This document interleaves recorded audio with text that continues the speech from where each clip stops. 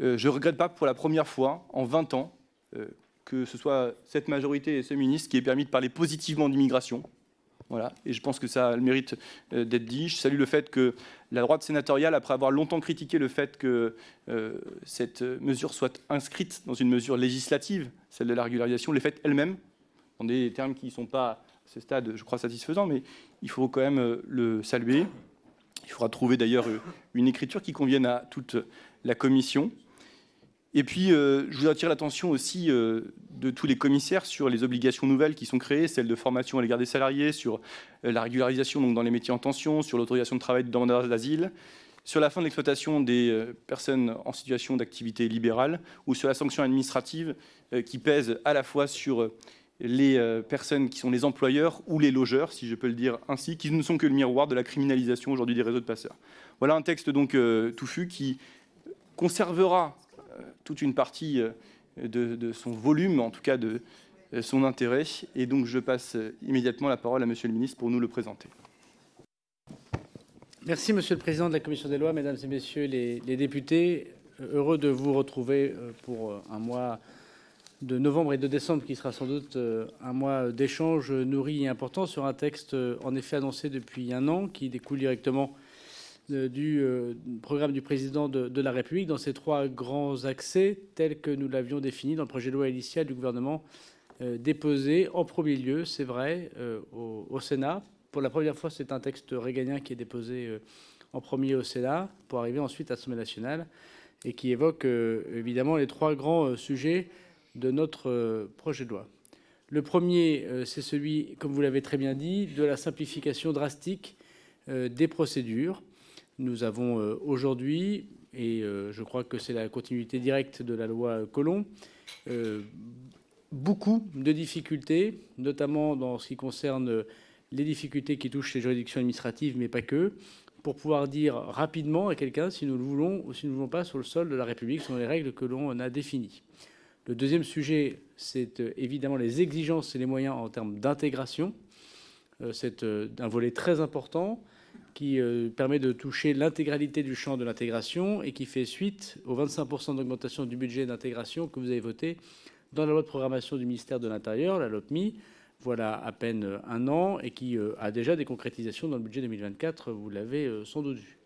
Troisièmement, c'est effectivement la fermeté vis-à-vis des étrangers, soit par leur éloignement, soit par leur expulsion, lorsqu'ils commettent des actes euh, graves de délinquance euh, ou de criminalité. Nous y reviendrons.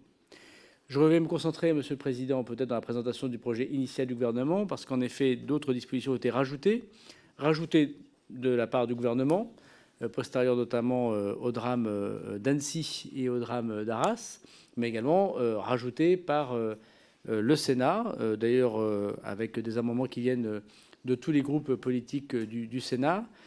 Et je veux d'ailleurs dire ici que je partage, euh, si vous me le permettez, votre vision euh, du débat parlementaire, c'est-à-dire que, après l'avoir dit très clairement dans le débat sénatorial, il y a clairement des cavaliers législatifs. Ce serait mentir aux Français de croire que les questions, certes importantes, parfois abordées par les sénateurs, mais qui n'ont pas utilisé l'irrecevabilité, puissent être dans ce texte-ci, puisque, à coup sûr, comme vous l'avez dit, ils seront censurés par le Conseil constitutionnel et que cela me paraît déjà un sujet assez compliqué en soi que celui d'immigration, parce que nous parlons des femmes et des hommes et des enfants, et évidemment de ceux qui sont chargés d'appliquer les règles de la République pour pouvoir rajouter euh, des euh, mensonges euh, aux Français en expliquant qu'on a trouvé la martingale, alors que ce, texte ne prévoit pas en effet d'autres dispositions que celui du Code des étrangers tel qu'initialement prévu par le gouvernement.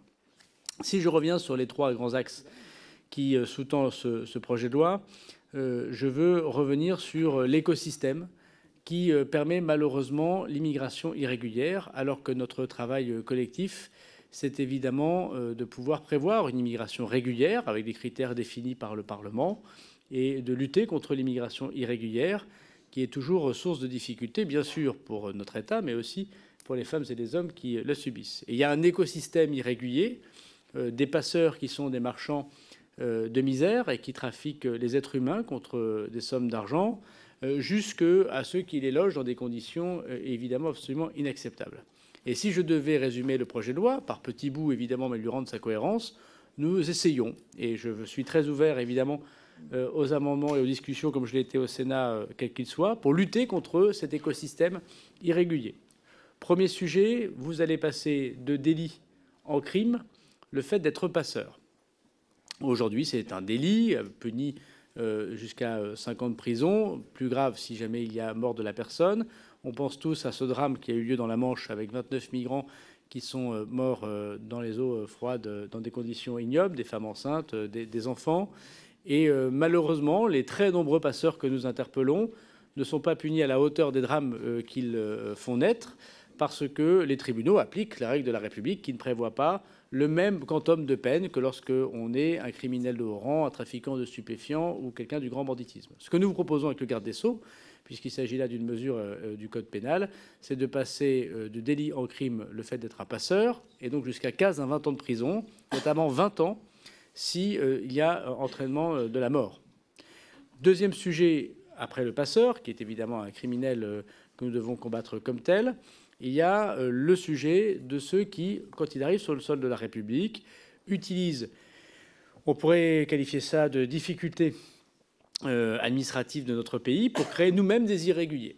Je, m'explique. Nous pouvons, en France, créer une auto-entreprise au sein du ministre de l'économie et des finances en ligne sans jamais que quelqu'un ne vérifie la régularité du séjour de cette personne.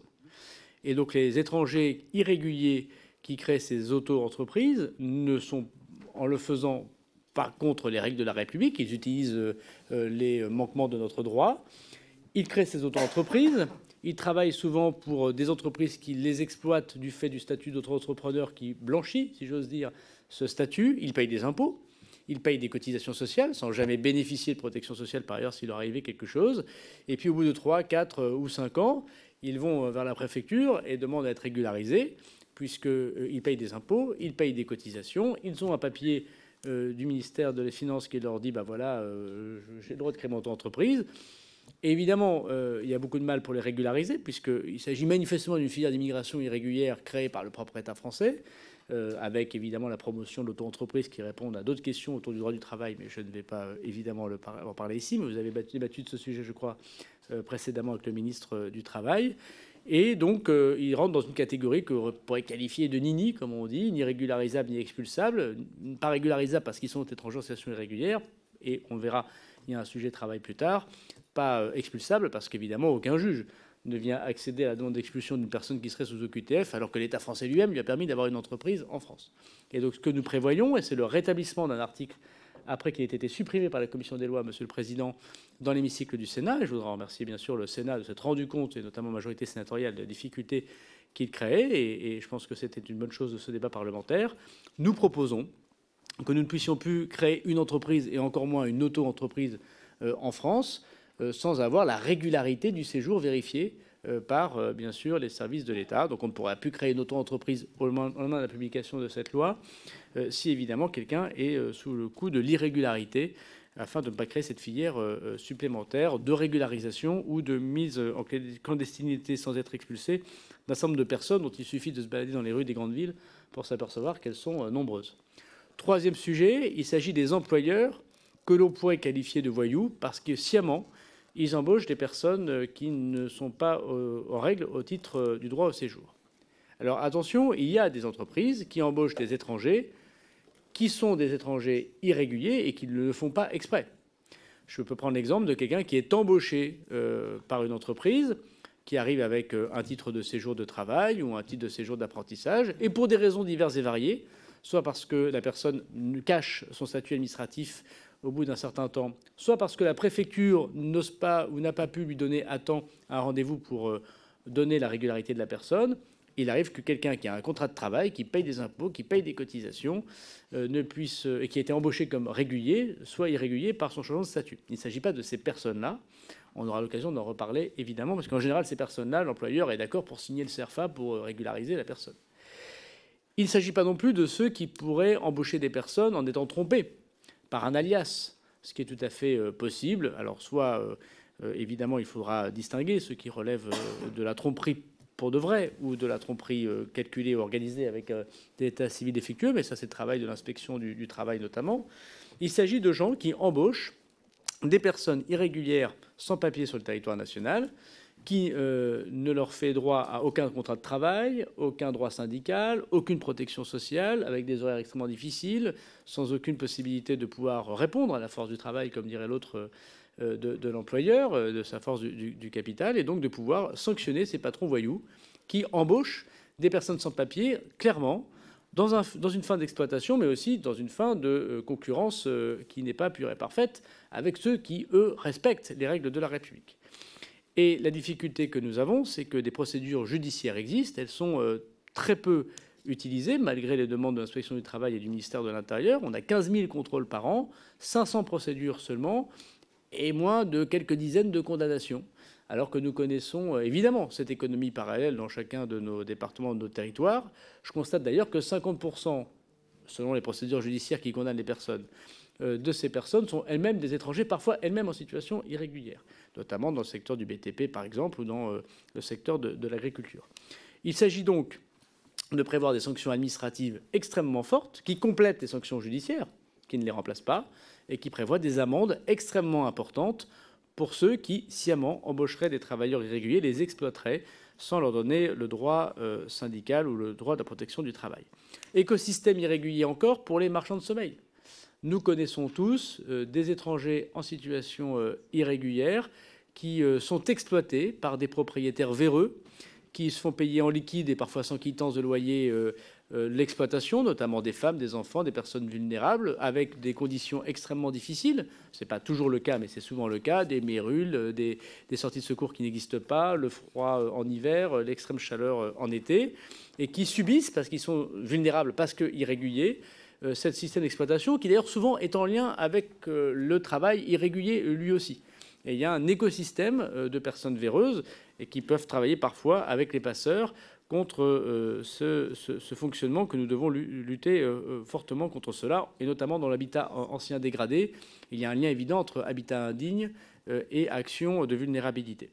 Le gouvernement avait déposé une disposition pour lutter contre ce qu'on appelle des marchands de sommeil extrêmement fortement j'ai euh, accepté, le, Sénat l'a voté, un amendement euh, du groupe communiste, euh, notamment de M. Brossat, pour permettre le titre de séjour temporaire à une personne qui dénoncerait son marchand de sommeil, un peu comme sur le modèle de la personne qui est prostituée, qui dénonce son proxénète quand il est irrégulier, et une disposition qui fonctionne bien. Je voudrais leur dire ici que j'avais accepté, Monsieur le Président, sous l'ancienne mandature, un amendement de Mme Richard Buffet sur le fait qu'une femme victime de violences conjugales pouvait avoir un titre de séjour provisoire lorsqu'elle était elle-même, alors qu'elle était irrégulière, dans un euh, euh, cycle de violence de la part de son conjoint, et je peux remarquer que les choses fonctionnent et permettent de sécuriser ces personnes, dans l'idée de lutter contre les marchands de sommeil, contre les trafiquants de, misère, le fait de, pouvoir avoir ce titre de séjour temporaire en échange du dépôt de plainte contre son marchand de sommeil nous permet évidemment de pouvoir documenter, de lutter contre les travailleurs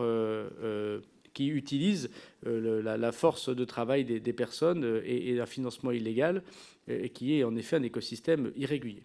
Donc ces dispositions extrêmement importantes sont dans la première partie du, la vraie première partie, si j'ose dire, anté-Sénat, les articles 2, les articles 5, les articles 8, et, et, donnent des dispositions très fortes puisqu'elles sont complètes avec les mesures d'intégration, et notamment une mesure d'intégration qui est extrêmement importante, qui a aussi été supprimé par la commission du Sénat, mais rétabli en séance, le fait que désormais, pour pouvoir euh, embaucher un travailleur qui euh, demain passerait euh, un examen de français, on en reparlera vu les exigences de la loi, c'est pendant le temps de travail que l'employeur doit laisser le temps à cette personne de prendre des cours de français et éventuellement les cours sur les valeurs de la République, puisque ça a été rajouté par, le Sénat. C'est très important puisqu'aujourd'hui, l'étranger doit, en dehors de ses heures de travail, accéder à des cours donnés par des préfectures, donnés par le FID, donnés par des associations, en dehors des heures de travail, alors qu'on sait tous que la plupart des étrangers qui rentrent dans ce cadre-là euh, ont un travail difficile, beaucoup de transports en commun, et ne rentrent pas euh, toujours dans la possibilité de pouvoir avoir le loisir de prendre ces cours de français, surtout au moment où on va mettre un examen, nous y reviendrons. Ce que nous faisons, c'est un 1%, finalement, comme on dirait dans la région Nord-Pas-de-Calais, un 1% intégration, comme il y a un 1% logement les euh, employeurs, désormais, ils ont une vocation sociale aussi, ils ne sont pas là que pour faire euh, un profit, même si évidemment il est tout à fait euh, respectable. Ils doivent, pendant l'heure de travail, donner quelques heures, la loi le dit, dans la semaine pour pouvoir prendre ces cours de français et afin de pouvoir accéder au maximum à la capacité d'intégration d'une personne. Je me réjouis que le Sénat, finalement, a été compris les, intentions du gouvernement sur cette disposition très importante et tout à fait nouvelle. Ces mesures de lutte contre l'immigration irrégulière et contre l'écosystème irrégulier, les passeurs, les employeurs patrons, les difficultés administratives que nous avons créées et évidemment les marchands de sommeil euh, nous permettent d'avoir des exigences d'intégration plus fortes. Et notamment, c'est la mesure la plus importante sans doute de ce projet de loi. Jusqu'à présent, les Français euh, qui euh, voulaient permettre par l'embauche, par exemple, de personnes ou par faire venir des personnes devait euh, permettre à l'étranger, par le jeu de l'OFI notamment, de prendre des cours de français. Donc il y a une obligation euh, de moyens, mais il n'y avait pas d'obligation de résultat.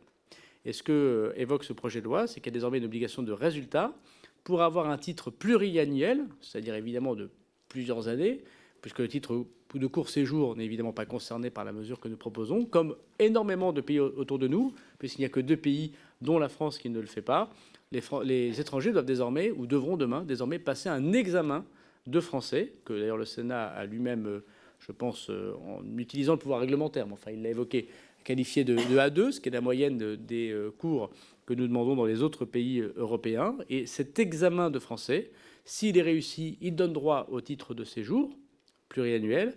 S'il est raté, ne donne pas droit au titre de séjour.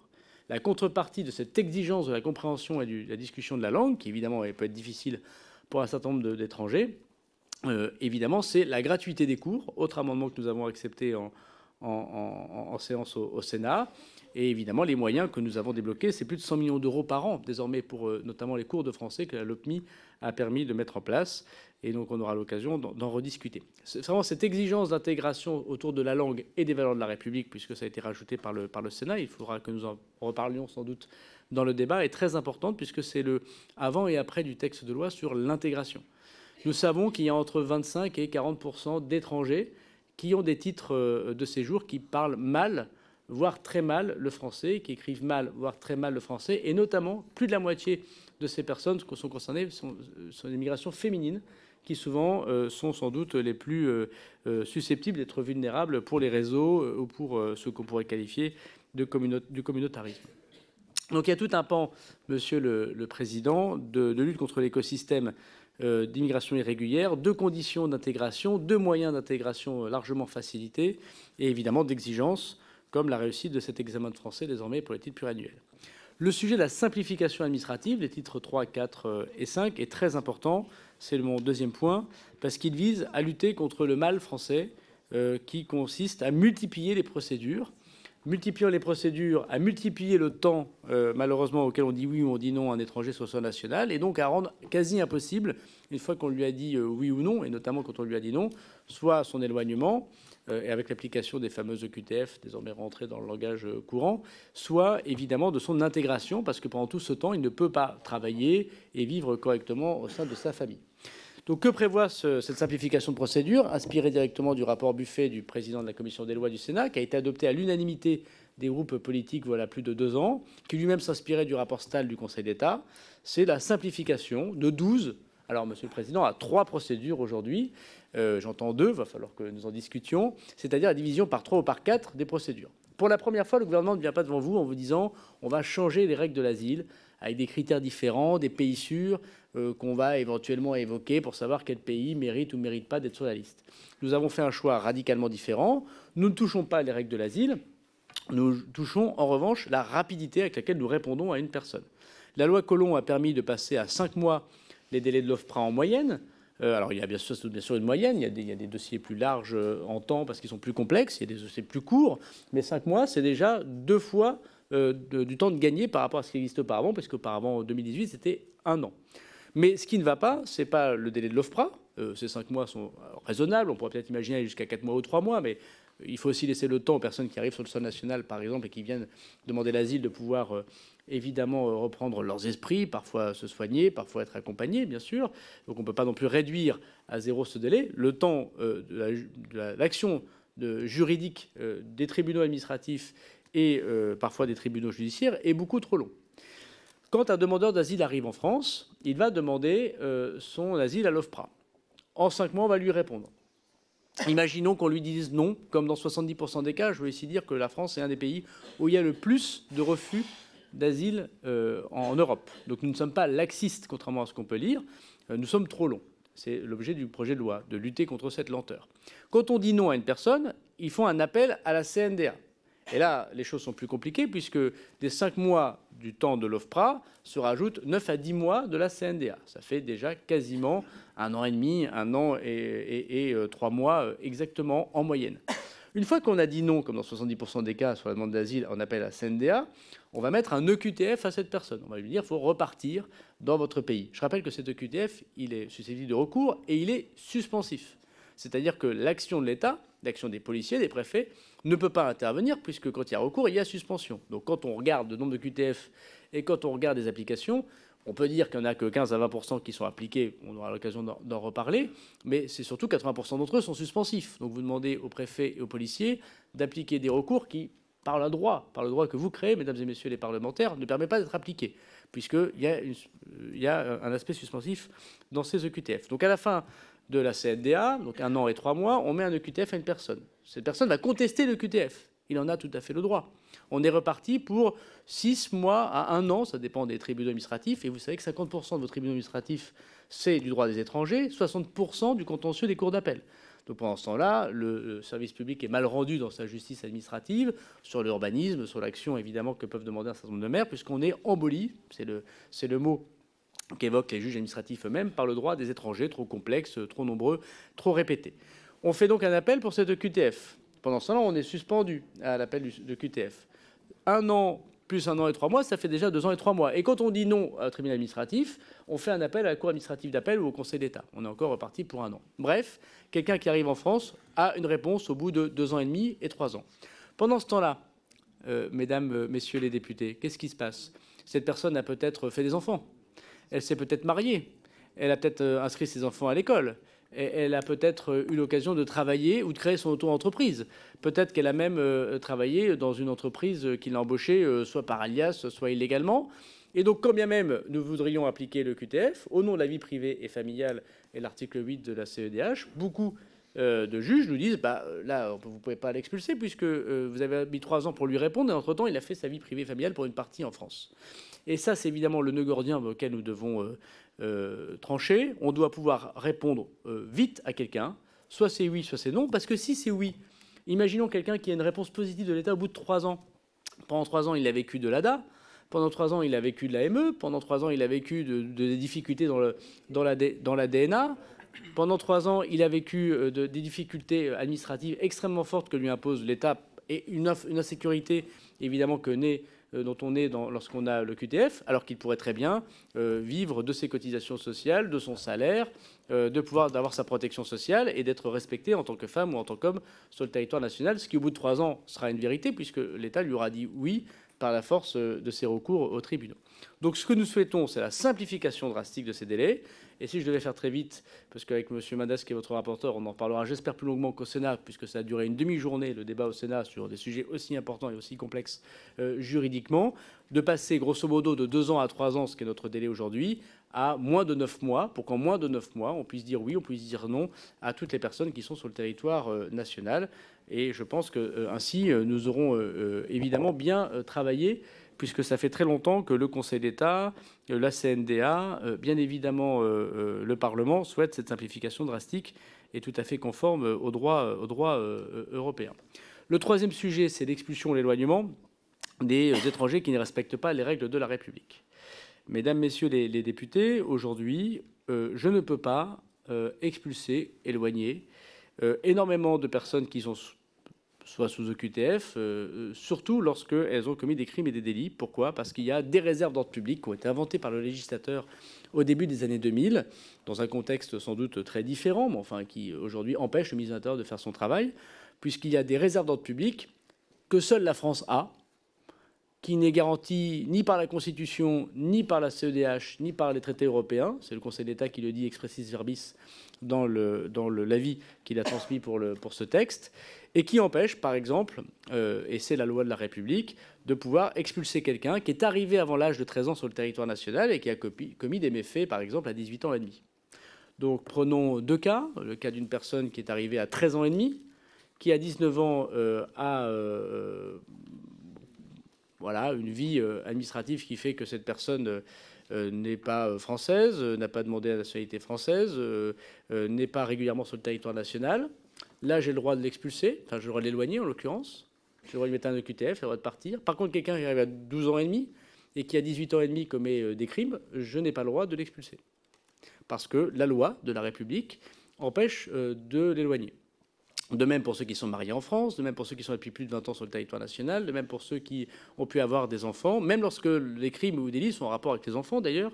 J'ai un, cas extrêmement précis où la vie privée et familiale a été euh, caractérisée euh, et évoqué, euh, et notamment la loi française m'a été opposée, parce que cette personne qui pourtant faisait des attouchements sexuels sur ses propres enfants euh, ne pouvait pas être expulsée du territoire national parce qu'il avait des enfants sur le territoire national, ce qui était une décision très difficile à comprendre, mais qui est conforme évidemment à la législation telle qu'elle existe. Moi, je vous propose de lever ces réserves d'ordre public, ces articles 9 et 10. Alors, avec une difficulté très forte sur laquelle nous reviendrons, c'est qu'il y a le régime de l'expulsion et le régime de l'éloignement, qui n'est pas la même, le même régime, pour lequel le Conseil d'État a insisté, pour lequel nous ayons deux articles différents.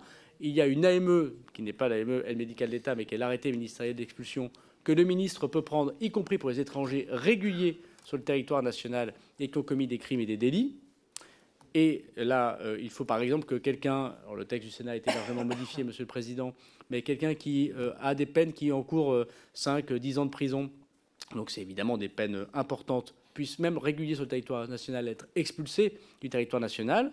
Et puis il y a l'éloignement, c'est-à-dire un étranger en situation irrégulière qui, euh, lorsqu'il commet les mêmes méfaits, aujourd'hui ne peut pas être éloigné euh, parce que, euh, évidemment, nous avons ces réserves d'ordre public. Ces réserves d'ordre public, nous souhaitons les enlever, sauf une seule. Il y en a une qu'on ne peut pas retirer, que les enfants, les moins de 18 ans, qui commettent des actes de délinquance avant 18 ans, parce que je rappelle que le ministre de n'est pas le ministre des mineurs étrangers, c'est le garde des Sceaux, c'est une question de justice, c'est une question de procureur de la République.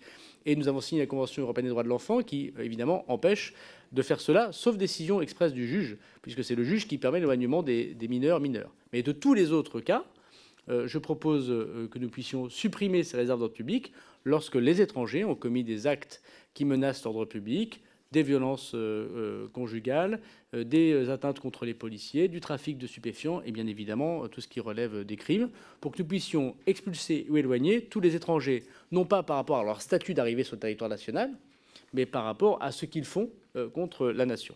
Se rajoute à ça l'article 13 qui est assez nouveau et assez puissant, il faut bien le dire dans le débat, j'imagine qu'on aura, Monsieur le Président, qu'on a eu au Sénat, qui prévoit en effet le retrait euh, la suppression du titre de séjour de deux étrangers, soit qui commettent des actes de délinquance, soit qui ne respectent pas les valeurs de la République au sens de la loi séparatisme.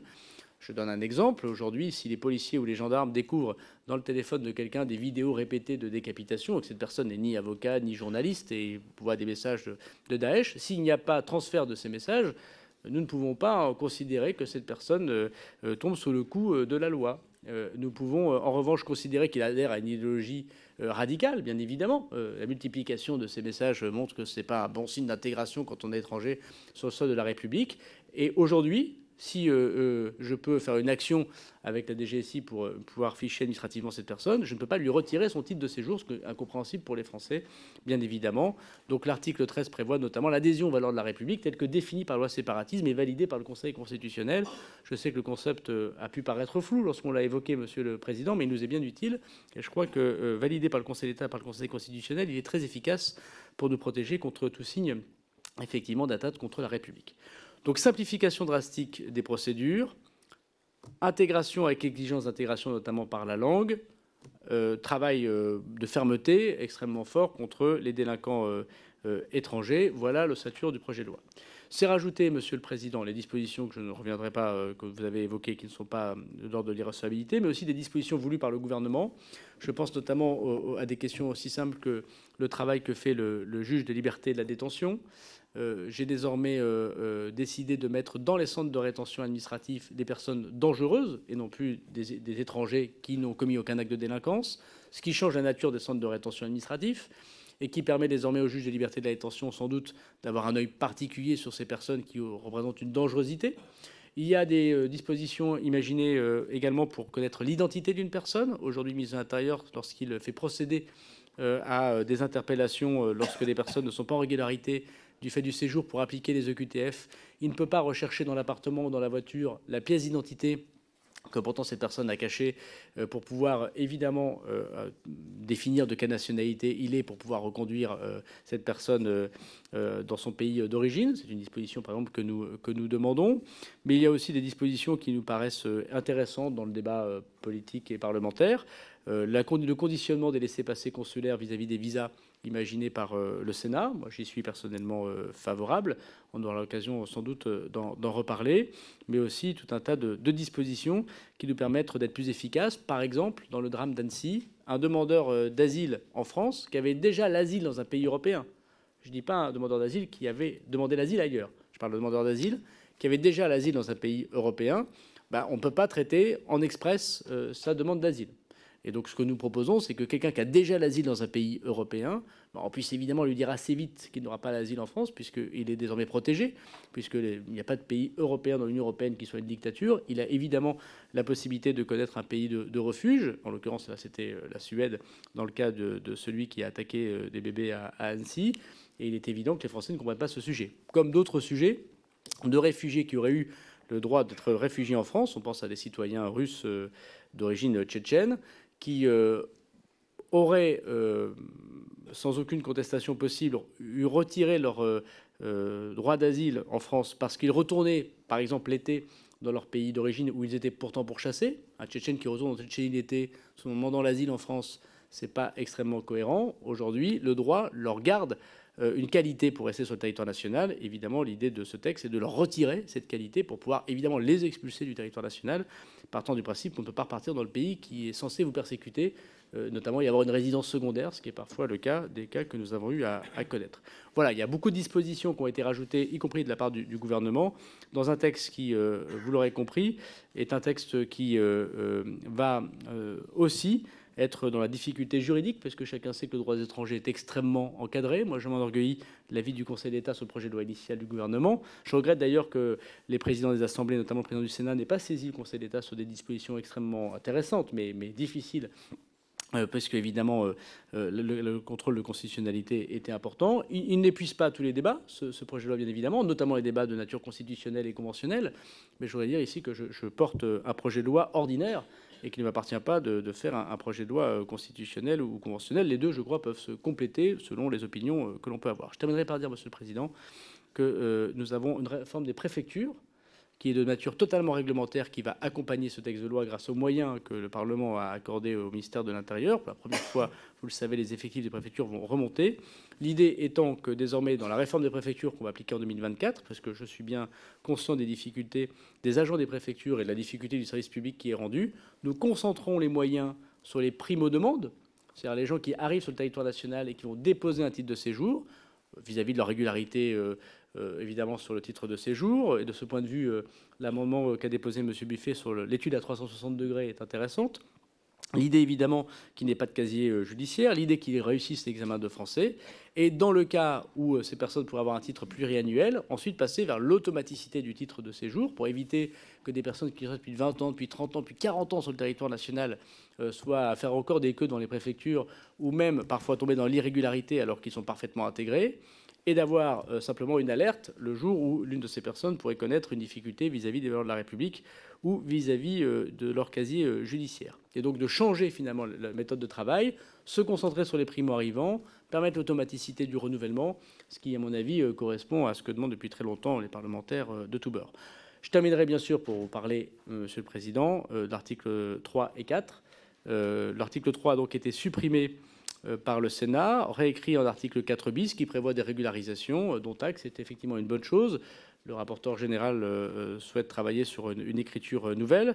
Ce qui est important, je le dis ici devant les parlementaires, c'est de lever le lien qu'il y a entre l'employeur et l'employé dans la régularisation.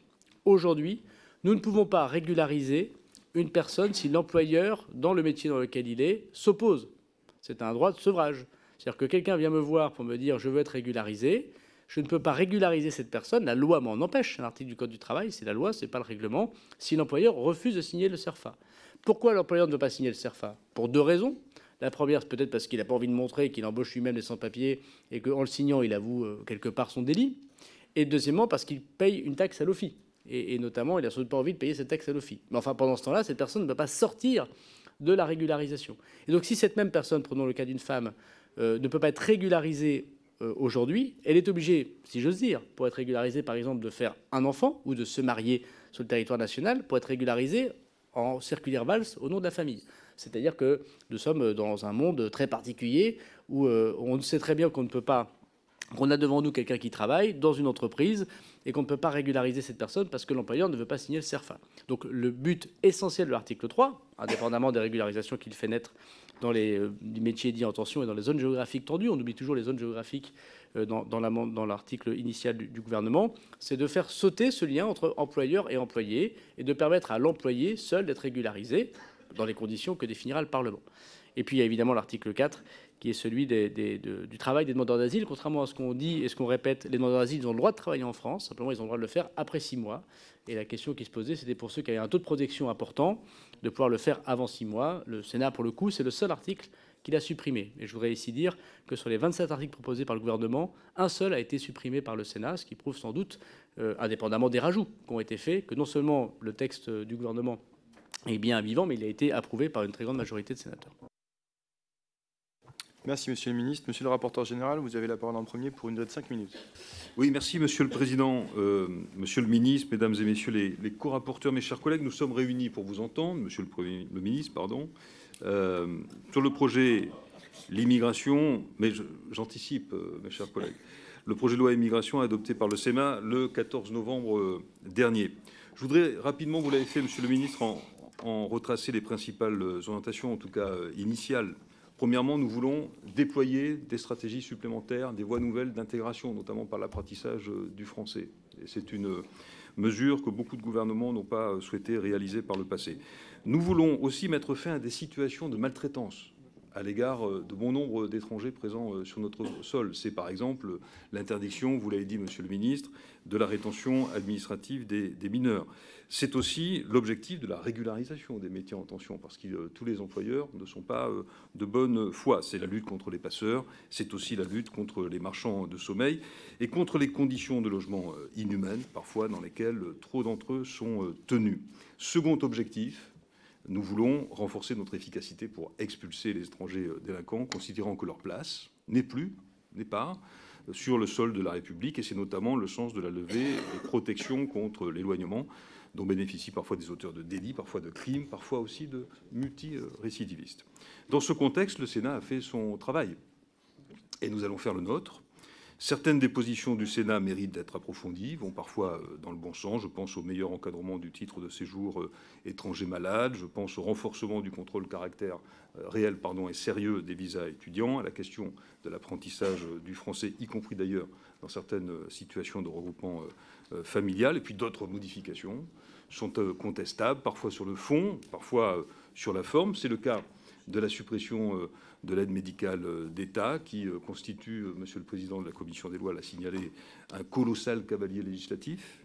Et le rapport, un rapport sera rendu le 4 décembre prochain par Patrice Stefanini et Claude Evin, qui permettra d'éclairer le débat, peut-être de le prolonger. Mais je rappelle que la dernière fois qu'il y a eu une modification, une évolution de l'aide médicale d'État, c'était dans le cadre d'un projet de loi de finances. Et il y avait au moins la ministre de la Santé d'alors.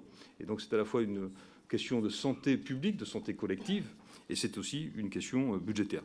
De la même manière que nous n'allons pas, à travers ce texte, réformer le Code civil et sa partie sur la nationalité. Je pense que c'est un débat qui, est, euh, est peut-être même un débat de nature présidentielle. En tout cas, nous verrons euh, dans les prochaines années. Enfin, nous aurons, vous l'avez dit, Monsieur le Ministre, le débat sur la régularisation, notamment dans les métiers en tension. Une régularisation forcément ciblée, forcément bornée dans le temps, y compris depuis le départ. L'article 3 initial fixait un objectif au 31 décembre 2026.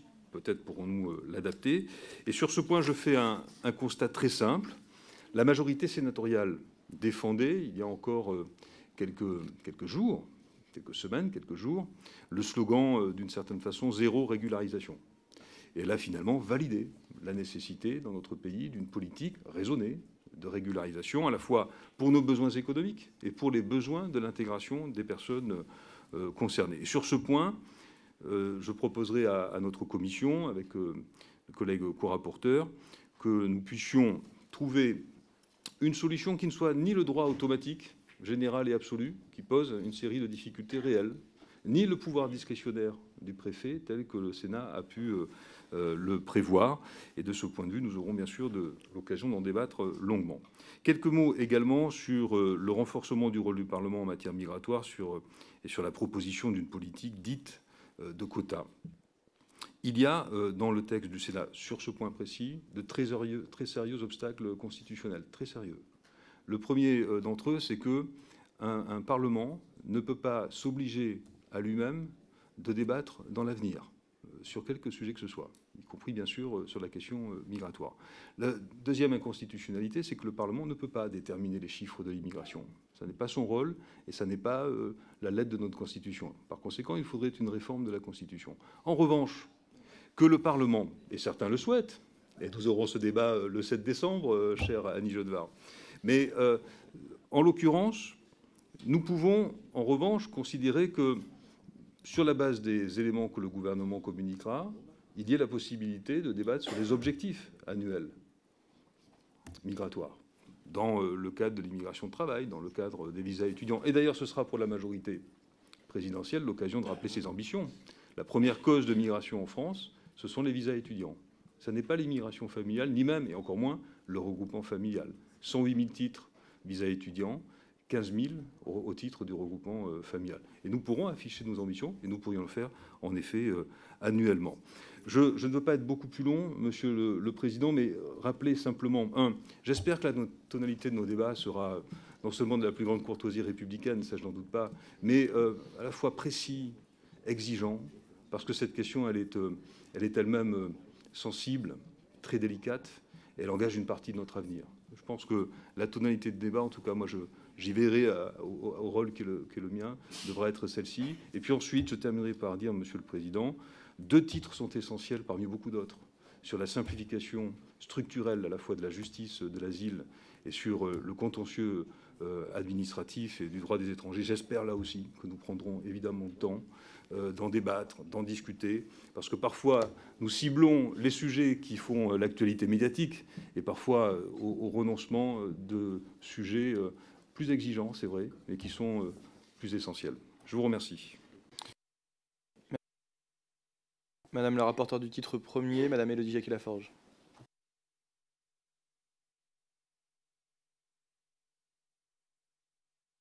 Merci le Président. Euh, monsieur le Président, Monsieur le Ministre, euh, Monsieur le rapporteur général et mes co-rapporteurs, mes chers collègues, j'ai donc l'honneur effectivement de rapporter le titre premier de ce projet de loi. Il a pour ambition d'assurer une meilleure intégration des étrangers par la langue et par le travail. Je vais commencer par euh, la langue. Le dispositif tel qu'il était initialement proposé par le gouvernement incarne les deux euh, axes hein, sur lesquels repose ce projet de loi. Le premier, l'article premier, ça a été indiqué, rend obligatoire la maîtrise d'un certain niveau de français pour l'obtention d'une carte pluriannuelle. Et de l'autre, l'article 3 prévoit des formations en langue étrangère au bénéfice des salariés allophones afin de favoriser leur intégration dans le monde du travail. Toutes les personnes que nous avons auditionnées, on n'a pas fini nos auditions, mais elles ont insisté sur la maîtrise de la langue comme un élément moteur d'intégration dans notre société. En effet, comment accéder au marché de l'emploi, comment se faire comprendre, comment comprendre les autres si finalement on ne maîtrise pas la langue. Malgré une suppression de l'article 2 en commission, le Sénat a finalement souhaité maintenir ces deux dispositions et je m'en félicite. L'article 1er a néanmoins été amendé dans une direction que nous ne partageons pas toujours. J'y reviendrai bien évidemment au cours de nos débats.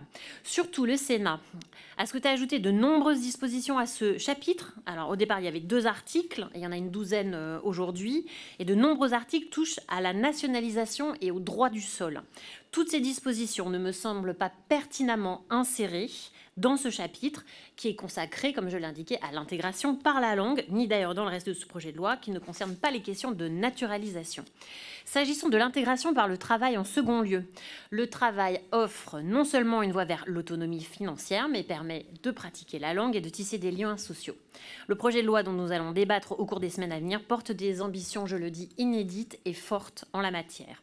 Les chapitres 2 et 3 du titre premier lui sont consacrés. Je souhaite évoquer rapidement l'article 3 devenu l'article 4 bis puisque ça a été indiqué par le rapporteur général. Euh, je crois euh, que l'examen de cet article par notre Assemblée soit l'occasion de travailler à une version opérante.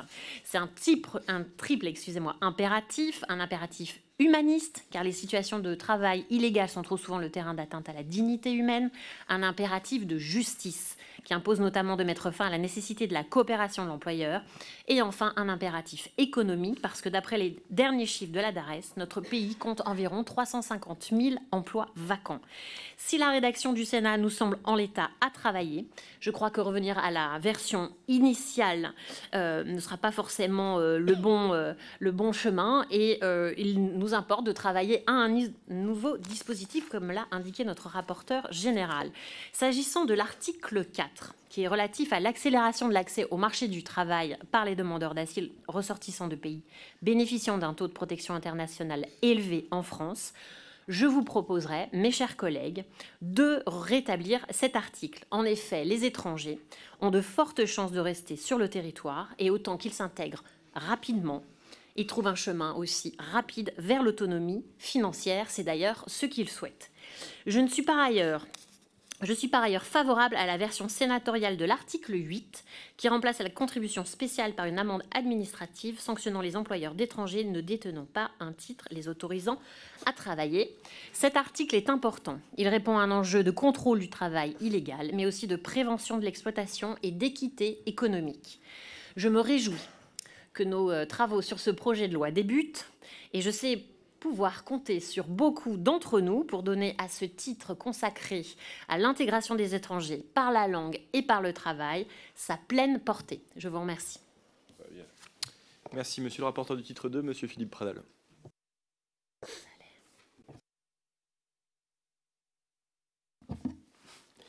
Merci, Monsieur le Président, Monsieur le Ministre, Monsieur le rapporteur général, Madame et Messieurs les co-rapporteurs, mes chers collègues.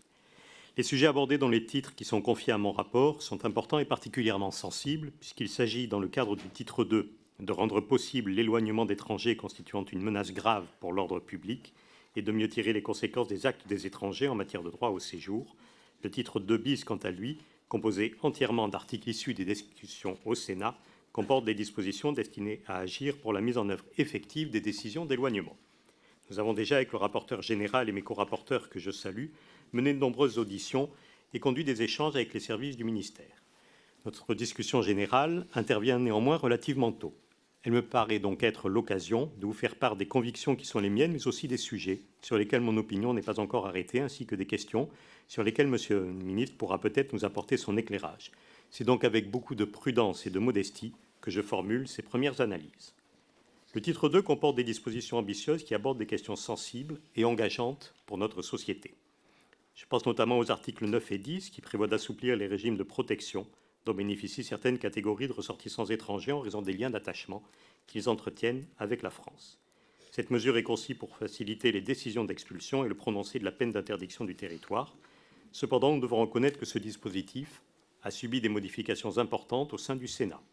Notre responsabilité aujourd'hui est de travailler ensemble à établir un équilibre en accord avec les principes constitutionnels et conventionnels qui guident notre démarche. L'article 11 du texte permet le relevé signalétique des étrangers sans leur consentement lorsqu'ils refusent de le faire, ce qui, je le rappelle, est un délit. Cette mesure me semble proportionnée à l'enjeu et le Sénat lui a ajouté des contraintes supplémentaires. Il faudra veiller à ce qu'elle ne limite pas le caractère opérationnel de cet objectif. Je tiens à souligner l'avancée majeure que constitue l'article 12, qui interdit la présence en centre de rétention administrative des mineurs de 16 ans. Cette disposition va dans le bon sens et je suis convaincu que nous pourrons poursuivre la réflexion au cours de nos travaux sur la question de la place des mineurs en rétention administrative. Autre enjeu important, l'article 13, qui prévoit d'encadrer la délivrance, le renouvellement ou le retrait de titres à l'aune de critères autour desquels nous devrions nous retrouver. Ainsi, ne pas laisser des étrangers sur notre territoire lorsqu'ils constituent une menace grave pour l'ordre public, tout comme exiger une résidence habituelle en France pour les titulaires de titres de longue durée, sont des mesures de bon sens qui ne devraient pas susciter de vaines polémiques. Il en va de même pour le respect des principes de la République précisément définis, à la différence de la précédente tentative de 2021. Cette mesure, je le rappelle, ne fait qu'étendre un dispositif qui existe déjà et est de nature à favoriser l'intégration des étrangers. Le Sénat a souhaité renforcer le dispositif selon des modalités dont l'opportunité peut paraître inégale, mais nous aurons tout le loisir d'en débattre. Concernant le titre 2 bis ajouté par le Sénat, il comporte diverses mesures qui, pour certaines, font sens et pour d'autres, soulèvent des interrogations. L'article 14A permet de conditionner la délivrance visa long séjour et l'aide publique au développement à la bonne coopération migratoire. Le dispositif me paraît intéressant, mais semble pouvoir être amélioré pour en accroître l'efficacité. Même observation pour l'article 14V qui rend obligatoire l'information par les préfets des organismes de sécurité sociale et de Pôle emploi des décisions d'OQTF et crée une obligation de radiation une fois la décision devenue définitive. Des améliorations doivent pouvoir être apportées pour rendre ce dispositif encore plus opérationnel. De même, les dispositions prévues par les articles 14C qui allongent la durée maximale d'assignation à résidence d'un étranger faisant l'objet d'une OQTF paraissent de nature à améliorer la mise en œuvre effective des mesures d'éloignement. L'opportunité de l'article 14D interroge un petit peu plus, puisqu'il consacre l'unicité de la délivrance de l'aide au retour. Or, ce point est déjà garanti par un texte réglementaire.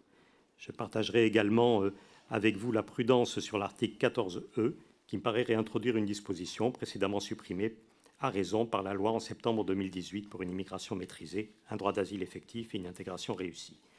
Nous allons donc avoir à débattre de l'ensemble de ces questions, comme le rappelait le rapporteur général avec exigence, précision et sérieux, et je l'espère, dans un climat serein et constructif. Je vous remercie. Merci, monsieur le rapporteur. Monsieur le rapporteur des titres 3, 4 et 5, monsieur Ludovic Mendes. Merci, Monsieur le Président. Monsieur le Ministre, Monsieur le rapporteur général, mesdames, Madame et Messieurs les co-rapporteurs, mes chers collègues. J'ai l'honneur d'avoir été nommé rapporteur pour les titres 3 à 5 de ce projet de loi, d'ailleurs mis en avant à plusieurs reprises par le rapporteur général et, et le ministre de l'Intérieur. Le titre 3, d'ailleurs, contient des mesures qui, j'ose l'espérer, devraient être consensuelles pour nous tous. Euh, ainsi que l'article 14 renforce la sanction euh, contre les réseaux de passeurs en criminalisant l'infraction d'aide à l'entrée, au séjour, à la circulation si elle est commise en bande organisée et présente un danger pour les personnes. Il cible également les dirigeants des réseaux afin là aussi de lutter contre les filières d'immigration clandestine dont les premières victimes euh, sont souvent exploités sont des enfants, des femmes et des hommes qui ont besoin de protection. Dans le même esprit, l'article 15 durcit la répression à l'égard des marchands de sommeil afin de lutter le plus efficacement possible contre ceux qui exploitent la vulnérabilité des étrangers. Loin des polémiques politiciennes, je pense que nous pouvons tous nous retrouver non seulement sur les objectifs, mais aussi sur les modalités qui sont proposées. Le titre 3 garantit aussi un renforcement des contrôles aux frontières en prévoyant le contrôle par les transporteurs de la nouvelle autorisation de voyage ETIAS, en permettant la visite sommaire de voitures particulières pour éviter le contournement, les contournements constatés. Et sur cet aspect, je vous renvoie à ce que nous avons fait euh, en sein de la commission des lois et en, et en ce public sur euh, le code des douanes récemment modifié. Et enfin, en permettant de refuser le visa à une personne qui ne justifie pas avoir respecté une précédente OQTF. Le titre 4 propose une réforme ambitieuse et structurelle de notre système d'asile. Je vais insister plus particulièrement sur les deux dispositions qui figuraient dans le texte initial transmis par le gouvernement il s'agit d'abord de l'article 19 euh, qui prévoit la création de pôles territoriaux France Asile. Ces pôles territoriaux permettraient de renforcer les guichets uniques qui existent aujourd'hui. Au sein des actuels GUDA, le demandeur peut enregistrer sa demande auprès des services préfectoraux, recevoir les conditions matérielles d'accueil de la part de l'OFI. L'article 19 prévoit qu'il puisse également avoir un premier contact avec un agent de l'OFPRA pour l'introduction de sa demande d'asile. Cette réforme me paraît une bonne chose pour le demandeur, qui sera accompagné par un agent mieux armé pour le guider dans ses premières formalités, notamment le choix de la langue d'entretien, qui est parfois un vrai casse-tête sur certains territoires, et permettra d'accélérer les délais de traitement de demande. Je suis donc convaincu que l'expérimentation prévue par le Sénat n'est pas nécessaire et j'espère que nous parviendrons à convaincre qu'un déploiement progressif avec des sites pilotes de ces, de ces pôles territoriaux est la meilleure des solutions à trouver. J'appelle par ailleurs votre attention sur l'article 20 qui a été adopté par le Sénat dans sa version initiale et qui propose une réforme de la CNDA destinée à rapprocher le demandeur d'asile et le juge de l'asile. L'article 20 propose de créer des chambres territoriales pour la CNDA qui siègent pour l'heure presque simplement qu'à Montreuil, et qui siègent qu'à Montreuil, pas presque d'ailleurs. Et quand on arrive de Tarbes ou de certains territoires de France où le, les voies de transport sont compliquées, c'est assez complexe pour montrer à Montreuil et se faire entendre. Euh, il propose également, avec des garanties, de généraliser la formation avec un juge unique qui n'est, pour le moment, utilisé que dans un nombre de cas restreints. Enfin, le titre 5 euh, constitue, le titre 5 constitue une avancée majeure dans la modernisation et la simplification du contentieux des étrangers. Au cœur de cette réforme des règlements contentieux, l'article 21, qui a fait l'objet d'ajustements significatifs par le Sénat, dans sa rédaction actuelle, cet article propose de réduire le nombre de procédures applicables à trois, au lieu de la douzaine qui a été dénombrée par le Conseil d'État dans son étude. Cette simplification facilitera non seulement le travail des acteurs impliqués dans le domaine, mais garantira également un accès à la justice plus rapide et équitable pour les individus concernés. Les articles 21 et 24 proposent également des mesures concrètes pour améliorer le fonctionnement de la justice rendue dans ce cadre. La délocalisation des audiences dans des salles spécialement aménagées, situées à proximité des lieux de retention ou des zones d'attente, offre une réponse adaptée à l'exigence de rapidité et d'efficacité du traitement judiciaire de ce type de contentieux. La facilitation, la facilitation de la vidéo-audience, tant devant le juge administratif que devant le juge des libertés et de la détention, participe aussi, et je le crois, à l'objectif de bonne administration de la justice. Notre responsabilité est de trouver le juste équilibre entre efficacité et protection des droits de l'étranger justiciable. Enfin, l'article 25 tient lui aussi compte de, manière très concrète à l'évolution du contentieux des étrangers et permet d'adopter les règles procédurales à l'arrêté de contentieux. Cette disposition tire notamment les leçons de l'expérience du traitement judiciaire des migrants arrivés à bord de l'Ocean Viking à Toulon en novembre 2022, comme nous l'avons rapporté à la commission des lois. Ce débat, nous devons l'avoir, nous ne pouvons plus le repousser, nous devons l'accepter tel qu'il est, car oui, certaines dispositions ajoutées au Sénat sont utiles à notre pays, toutes les supprimer serait une erreur. Ces trois titres proposent donc des dispositions qui me paraissent essentielles et sur lesquelles je ne doute pas que nous pourrons, trouver un, nous pouvons avoir pardon, un débat apaisé et trouver un accord constructif et utile pour les Français, pour les ressortissants et pour le gouvernement. Monsieur le rapporteur du titre 6, Monsieur Olivier Servat. Merci Monsieur le Président, Monsieur le Ministre, Monsieur le rapporteur général, Madame, Messieurs les rapporteurs, mes chers collègues. J'ai l'honneur d'avoir été nommé rapporteur du titre 6 de ce projet de loi et je voudrais en cette qualité être ici la voix des territoires ultramarins. En effet, si le titre 6 ne comporte à ce jour que deux articles, il n'en concerne pas moins des enjeux majeurs. Tout d'abord, son article 26 a vocation à déterminer l'application spécifique aux Outre-mer des mesures qui seront votées par notre Assemblée, tandis que l'article 27 détermine les modalités d'entrée en vigueur de certaines de ces dispositions. À ce titre, je tiens à saluer la démarche du gouvernement qui a pris l'engagement devant le Sénat d'inscrire directement dans la loi les dispositions applicables à certains territoires d'outre-mer plutôt que d'avoir recours à une mise en œuvre par ordonnance. L'amendement adopté au Sénat sur cet article a ainsi permis d'exclure du champ de l'habilitation légiférée par ordonnance la Guadeloupe, la Martinique, la Guyane, la Réunion, Mayotte et Saint-Pierre-et-Miquelon. Nous aurons ainsi pour ces territoires la possibilité de déterminer directement dans le projet de loi les mesures que nous souhaitons voir appliquées. En revanche, Saint-Martin, Saint-Barthélemy, Wallis et Futuna, la Polynésie française et la Nouvelle-Calédonie feront l'objet d'ordonnances à ce stade. La situation de ces collectivités mérite entièrement de faire l'objet d'un débat parlementaire devant la représentation nationale et je me réjouis que nous puissions le faire ici. Toutefois, si ces territoires ultramarins justifient pleinement l'attention du législateur, ils ne peuvent pour autant faire l'objet d'une approche monolithique. Les 11 territoires d'outre-mer habités présentent une diversité d'enjeux qui ne peuvent être abordés sous le prisme d'une norme unique. Ainsi, la situation de la Guyane, qui compte 35% de personnes étrangères sur son sol, n'est pas comparable à la Guadeloupe, où ce chiffre s'élève à 4% en situation irrégulière. De même, la Guyane, qui partage des centaines de kilomètres de frontières terrestres avec le Suriname et le Brésil, ne présente nécessairement pas les mêmes difficultés que les îles de Saint-Pierre et Miquelon, au large de l'Amérique du Nord, qui ne comptent que 80 étrangers sur leur sol. Dès lors, certaines de ces collectivités font face à des flux importants d'entrées irrégulières. Le cas de Mayotte est à ce titre, et à ce titre emblématique, puisque un tiers de la population sera en situation irrégulière sur l'île, tandis que d'autres collectivités peinent au contraire à attirer la main-d'œuvre suffisante pour répondre aux besoins du marché du travail, par exemple Saint-Pierre et Miquelon. C'est pourquoi, en tant que rapporteur, j'ai choisi de mener une concertation avec l'ensemble des 11 territoires situés en Outre-mer, pour chacune de ces auditions, j'ai associé l'ensemble des représentants du territoire, services de l'État déconcentré, élus locaux, parlementaires et associations œuvrant dans le domaine afin de recueillir tous les points de vue et bâtir des propositions faisant l'objet de consensus. Je porte la conviction profonde qu'aucune mesure ne doit être adoptée sans une très large adhésion des territoires concernés. Et cette conviction guidera mon travail lors de l'ensemble des discussions que nous allons animer dans les semaines à venir. Je tiens d'ores et déjà à insister sur la nécessité de réfléchir à des mécanismes de territorialisation des métiers en tension définis par l'article 4 ter du projet de loi. Une telle liste ne saurait être définie de manière uniforme et unilatérale pour les territoires d'outre-mer qui présentent des particularités très fortes en termes d'emploi et de besoins de main-d'œuvre. Ainsi, le souhait de mécanisme de consultation des acteurs locaux a été à plusieurs reprises exprimé par les territoires que j'ai entendus. De même, la durée d'un titre de séjour délivré dans le cadre du mécanisme de régularisation de l'article 4 bis devrait pouvoir être modulée afin de tenir compte de l'éloignement et des délais de traitement de la délivrance des titres de séjour dans certains territoires d'outre-mer. Le travail de concertation que je mène actuellement a vocation à se poursuivre dans les prochains jours et je vous proposerai, à son terme, chers collègues, Monsieur le Ministre, des solutions sur mesure pour chaque territoire d'outre-mer, le cas échéant, en fonction des souhaits que leurs représentants m'auront exprimés et des besoins que ces auditions auront permis d'identifier.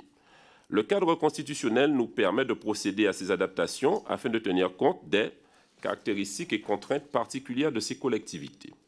Je formule le souhait que nos travaux au sein de cette commission nous permettent de nous saisir pleinement de cette opportunité afin d'accorder à ces territoires toute l'attention qu'ils méritent. À cet égard, Monsieur le Ministre, que pensez-vous de cette démarche qui permettrait d'avoir, le cas échéant, un article par territoire? Je vous remercie. Merci. On a fini avec euh, les expressions des rapporteurs. J'ai donc appelé les orateurs des différents groupes. Je rappelle que la durée d'expression des orateurs est de 4 minutes. Monsieur Guillaume Bouffier-Valente pour le groupe Renaissance. Merci Monsieur le Président, Monsieur le Ministre, Monsieur le rapporteur général, Madame la rapporteure, Messieurs les rapporteurs, chers collègues, au nom du groupe Renaissance, permettez-moi de saluer votre travail et la clarté de vos propos qui viennent nous éclairer sur les enjeux de ce projet de loi, sur sa philosophie et la manière dont vous envisagez ses évolutions après son adoption au Sénat le 14 novembre dernier. Les sujets migratoires sont un des enjeux de notre époque et des années à venir. Nous sommes face à un défi humain sur lequel nous savons les attentes de nos concitoyens fortes. Nous sommes face à un sujet qui reviendra certainement aussi de manière régulière devant notre Assemblée. Aussi, il est important d'aborder ce texte avec une certaine humilité et un réel sens des responsabilités. Il est important de l'aborder en sachant de quoi nous parlons exactement. Premièrement, et tâchons de ne jamais l'oublier, nous parlons d'hommes, de femmes, d'enfants, qui sont amenés bien souvent contre leur gré à quitter leur territoire. Les raisons, elles sont connues, du fait des conséquences du dérèglement climatique des conflits et des guerres. Pour des raisons économiques, sociales ou politiques, ce sont près de 130 millions de personnes qui sont considérées comme déplacées dans le monde en 2023. Et si la pression migratoire se fait de plus en plus forte sur nos pays de l'Union européenne, ce sont bien majoritairement les pays les plus vulnérables qui accueillent la majorité de ces personnes déplacées. Parler de l'immigration, c'est aussi parler des valeurs que porte notre pays, de notre modèle républicain et social. C'est également parler de notre souveraineté, de nos politiques d'intégration. Parler d'immigration, c'est parler de notre cohésion sociale et notre avenir. C'est parler d'Europe et du monde dans lequel nous vivons, un monde qui, au fond, n'est qu'un village où chaque événement qui survient peut avoir des conséquences sur notre société. Les réponses apportées par le projet de loi présenté par le gouvernement sont de nature à répondre à ces enjeux dans le respect de nos valeurs et des attentes de nos concitoyens. D'abord, en venant renforcer considérablement nos politiques d'intégration, en facilitant l'apprentissage de la langue, en revoyant à la hausse aussi euh, nos attentes en la matière. Euh, en assumant de renforcer l'intégration par l'accès au travail, par ailleurs, condition sine qua non d'une bonne intégration. Ensuite, en facilitant les règles d'expulsion avec la remise en place de la double peine pour celles et ceux qui ne respectent pas les règles de notre société et en alourdissant les sanctions à l'encontre des réseaux mafieux de traite humaine qui organisent une partie de l'immigration irrégulière. Pour reprendre vos mots, monsieur le ministre, oui, c'est être gentil avec les gentils et méchant avec les méchants. Enfin, nous nous devons aussi, à travers ce texte, de simplifier encore un certain nombre de procédures afin de répondre plus rapidement aux demandes de séjour sur notre territoire ou d'obtenir du statut de réfugié. En outre, nous n'oublions pas que ce texte ne se suffit pas à lui-même. Il s'inscrit dans la continuité de la loi de 2018 qui a permis de diminuer par deux les délais de traitement de demande d'asile de l'OFPRA, dans la continuité de la loi de programmation du ministère de l'Intérieur également, qui nous a permis d'augmenter de 25% les crédits dédiés à l'intégration et d'ouvrir un travail de refonte importante des préfectures, comme vous le rappeliez. À ce contexte législatif national, j'ajoute bien entendu les travaux essentiels menés au niveau européen qui doivent fonder une grande partie des réponses à ce défi. Le texte qui nous provient du Sénat a été âprement discuté et amendé par nos collègues sénateurs. Le sujet est difficile, mais je formule le vœu que nos débats se déroulent dans le même état d'esprit républicain que ceux que nous avons pu suivre à distance au Palais du Luxembourg. Bien entendu, si nous saluons le fait qu'un compromis ait pu être trouvé au Sénat afin que le texte y soit adopté, en gardant d'ailleurs la majorité des mesures du projet initial, la quasi-totalité d'ailleurs. Je ne vous cache pas le fait que sur un certain nombre de points qui ont été ajoutés, nos désaccords sont réels. À aucun moment, nous ne pourrons accepter les dispositions qui ont été introduites sur l'AME, sur le droit de la nationalité, sur les MNA, sur la restriction de l'accès aux prestations sociales, par exemple. Toutefois, fort de la volonté de répondre aux enjeux posés par ce texte et fort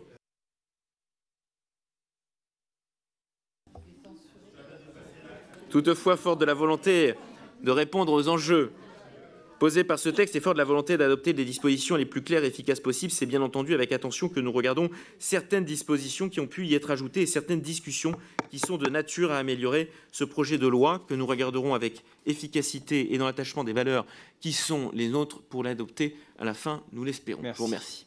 Merci. Moi aussi, je dois un petit peu domestiquer le matériel de la salle Lamartine. Monsieur Gillet, pour le groupe Rassemblement national. Oui, Monsieur le Président, Monsieur le Ministre, chers collègues, quand on parle d'immigration, nous devons nous poser deux questions. La première, quel est l'impact de l'immigration sur la vie de nos compatriotes et sur notre pays? La seconde, que veulent nos compatriotes en la matière? Si je ne nie nullement les quelques améliorations que ce texte contient, je sais aussi combien la gauche et une partie de la majorité vont tenter de le modifier ici à l'Assemblée pour accentuer le laxisme migratoire. Je sais aussi combien, même en sa sortie du Sénat, le texte ne répond pas à toutes les attentes des Français ni à l'urgence de la situation. Dans les médias, vous affichez une lutte contre l'immigration irrégulière et en même temps, vous souhaitez la régularisation des travailleurs clandestins. Sévérité affichée et en même temps, laxisme migratoire. La réalité, c'est que, comme vos prédécesseurs, vous organisez les appels d'air.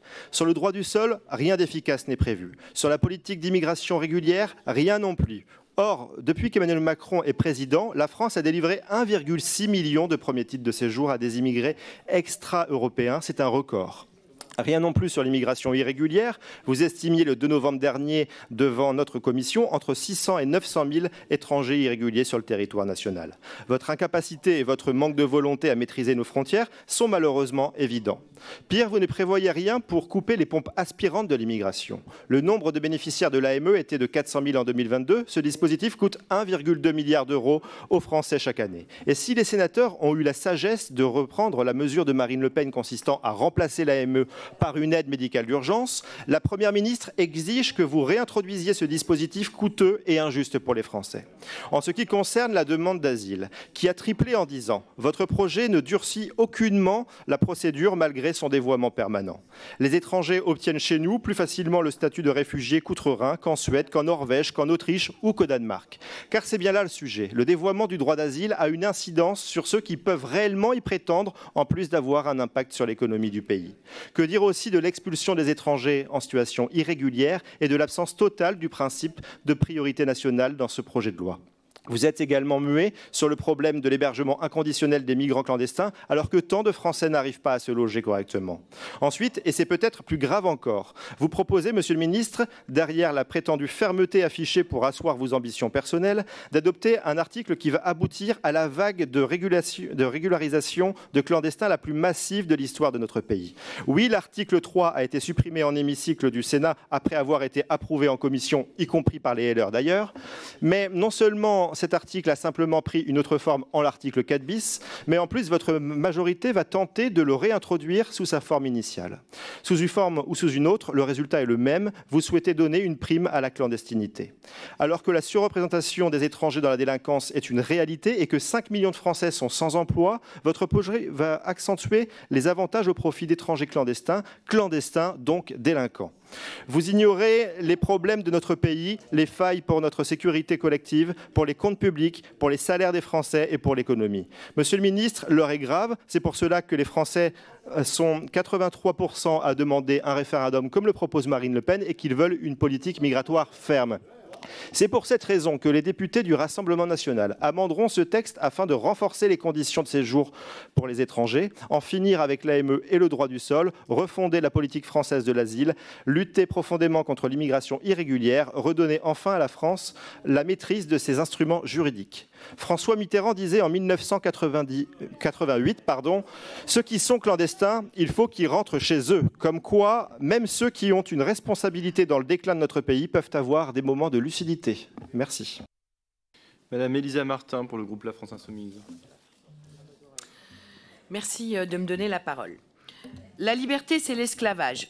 L'ignorance, c'est la force. Tel est l'esprit de votre loi. Monsieur Darmanin, personne n'est dupe. Que cela soit nous, la France insoumise, la gauche, ou bien les associations, les collectifs, les syndicats, les institutions, les avocats, personne n'est dupe. Dans le contexte d'Arras, de l'attaque d'Arras, Monsieur Darmanin, vous avez défendu votre loi comme la plus dure et la plus ferme présentée depuis 30 ans, comme une réponse au terrorisme. En quoi une dégradation majeure des droits permettrait de lutter contre le terrorisme? Votre projet est mensonger. Il est fondé sur le postulat selon lequel notre pays serait submergé par une prétendue vague migratoire. Or, si l'on rapporte le nombre de réfugiés accueillis dans notre pays à la population, notre pays est le 20e pays d'accueil dans l'Union européenne à contre-courant des mythes que vous vous plaisez à alimenter. Votre projet est superflu. C'est le 29e texte sur l'immigration depuis 1983, toujours à courir inlassablement derrière la politique du chiffre. Votre politique et votre projet est trompeur. Cette inflation législative n'a aucunement pour but de développer une politique digne pour tous, comme nous le demanderions. Au contraire, elle vise à rendre notre pays de plus en plus hostile à celles et ceux qui pourraient y espérer y trouver des conditions d'existence dignes, à même, vis-à-vis de ceux qui, euh, d'une façon légitime, au sens premier du terme, devraient pouvoir y trouver protection et asile. Le démantèlement d'ailleurs du système d'asile que votre texte acterait est représentatif de cette tendance. Votre texte est dangereux. En effet, nous assistons, à travers cette dégradation inédite des droits des étrangers et du droit d'asile, à une insupportable inversion de la hiérarchie des normes. Comme d'autres, comme des humains, le droit humain, le droit de l'enfant, tout ça est passé par-dessus bord. Votre projet est inhumain. Vous avez recours à des concepts malléables à souhait pour justifier le durcissement de ces mesures d'éloignement et la soi-disant augmentation de ces taux d'exécution au détriment des personnes malades, des enfants et de la réalité du fonctionnement de la procédure en droit des étrangers et son application.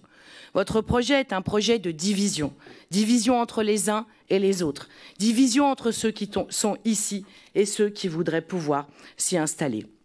Dans votre vision, étranger rime avec criminel, migrant rime avec humain au moindre droit alors même que les sciences humaines s'accordent unanimement sur l'absence d'impact et de lien entre l'immigration et la délinquance. Vous avez ouvert la porte à toutes les régressions. Évidemment, et vous le saviez, la droite sénatoriale s'y est engouffrée, reprenant, adoptant les pires dispositions. Retrait du titre de séjour, par exemple, pour motif d'adhésion au djihadisme, alors que ces mêmes dispositions ont été censurées par le Conseil constitutionnel dans la loi séparatiste allongement de la durée de rétention administrative maximale de 3 à 18 mois, comme dans l'Italie de Meloni. Suppression de l'aide médicale d'État, alors même que 8 personnes éligibles sur 10 n'ont pas recours à celle-ci, alors qu'elles y auraient droit, selon les données de Médecins du Monde. Vous prétendez être juste en régularisant dans votre texte initial les travailleurs étrangers dans les métiers en tension. Nous n'accepterons pas cette vision utilitariste et hypocrite des travailleurs. Vous prétendez vouloir réformer nos institutions, et en particulier la procédure d'asile, dont la France pourrait être fière, sous prétexte d'une réduction des délais et d'un rapprochement entre les demandeurs et les structures. Nous n'accepterons pas l'impartialité que vous souhaitez définir, définitivement mettre à bas de la CNDA, nous n'accepterons pas la fin de la dépendance de l'OFPRA, de l'indépendance de l'OFPRA. Au pays des droits de l'homme, tous les humains sont égaux, mais selon vous, il y en a qui... Madame Annie Genevard, pour le groupe Les Républicains.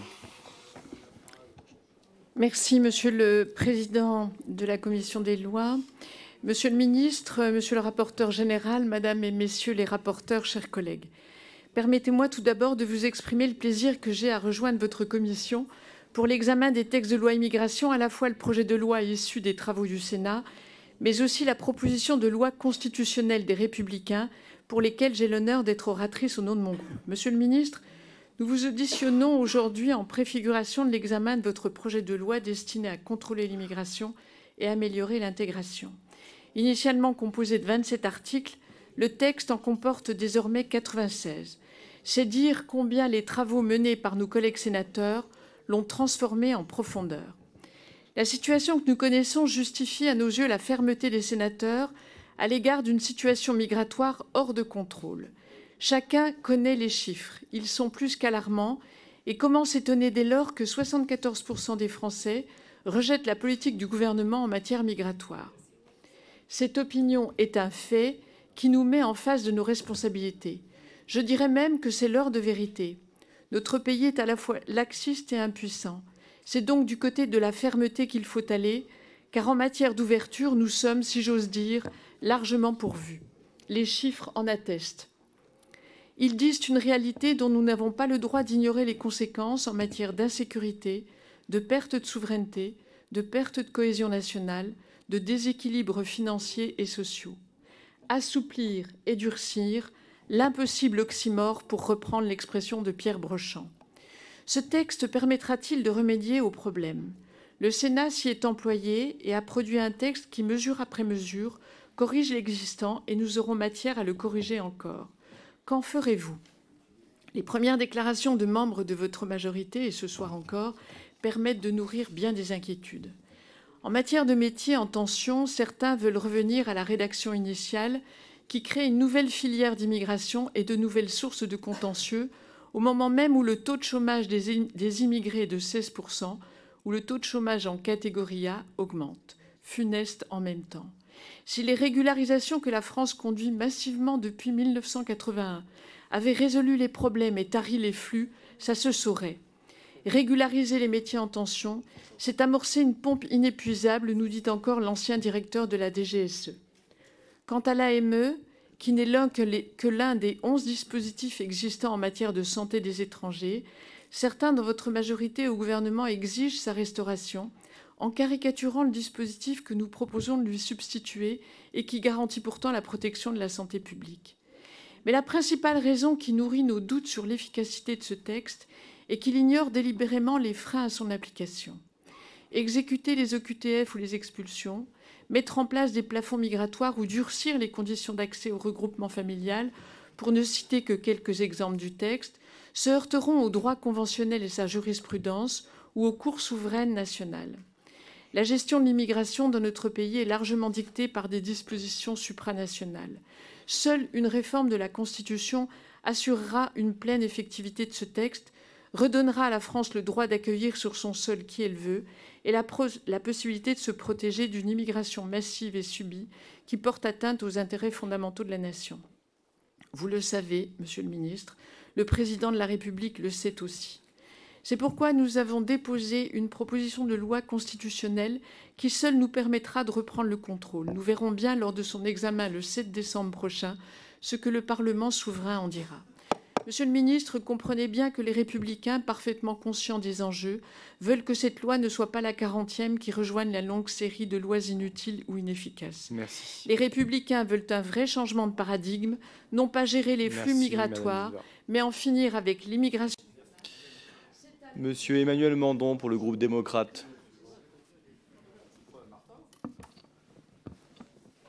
Merci, Monsieur le Président.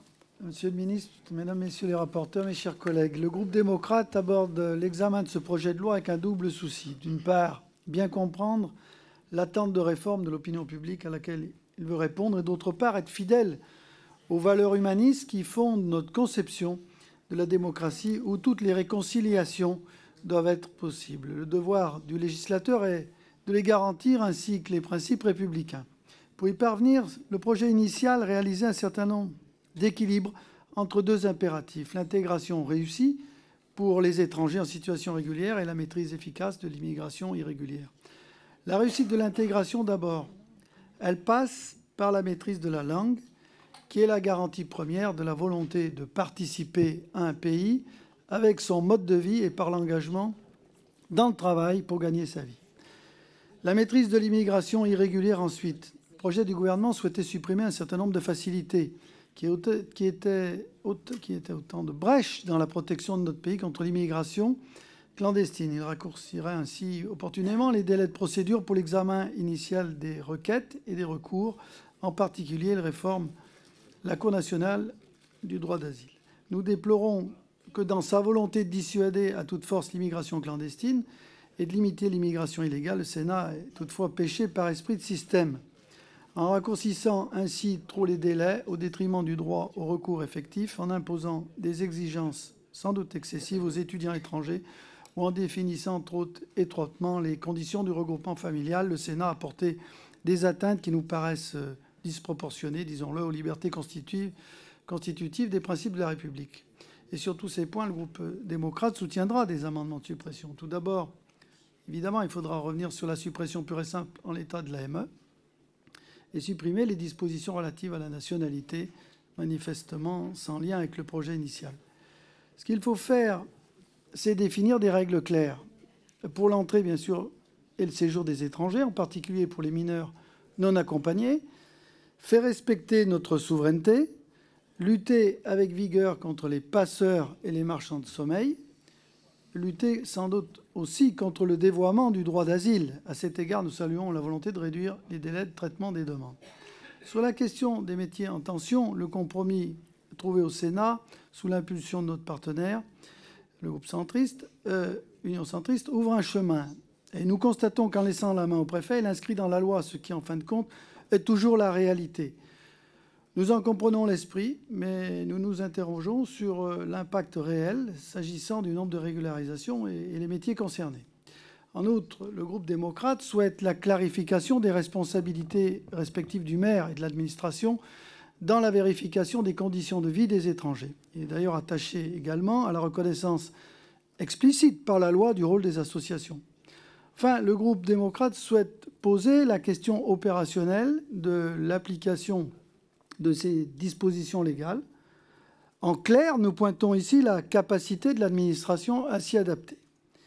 La question se pose particulièrement à propos du traitement expérimental, dit à 360 degrés des demandes de titre de séjour.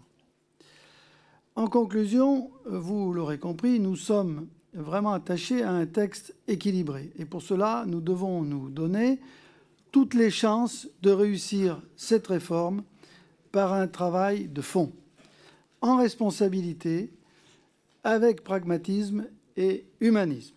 Je vous remercie. Monsieur Hervé Solignac pour le groupe socialiste. Merci, Monsieur le Président. Monsieur le Ministre, il y a un an, vous présentiez un texte avec le ministre du Travail dans un duo assez bien rodé.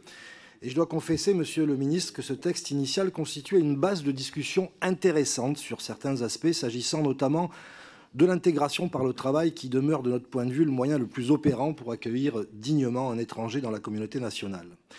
À cet égard, le ministre du SOP déclarait, je le cite, Il y a une forme d'absurdité du système, on enferme certains étrangers dans l'inactivité et d'autres dans l'inégalité. Vous-même, monsieur le ministre, vous avez enfoncé le clou, je vous cite à votre tour, Nous ne donnons peut-être pas assez de titres de séjour aux gens qui travaillent et qu'un certain patronat utilise comme une armée de réserve. Alors on s'interroge, entre le texte présenté il y a un an et le texte qui nous arrive du Sénat, que s'est-il passé? On devait examiner un texte méchant avec les méchants et gentil avec les gentils. On se retrouve avec un texte méchant avec tout le monde.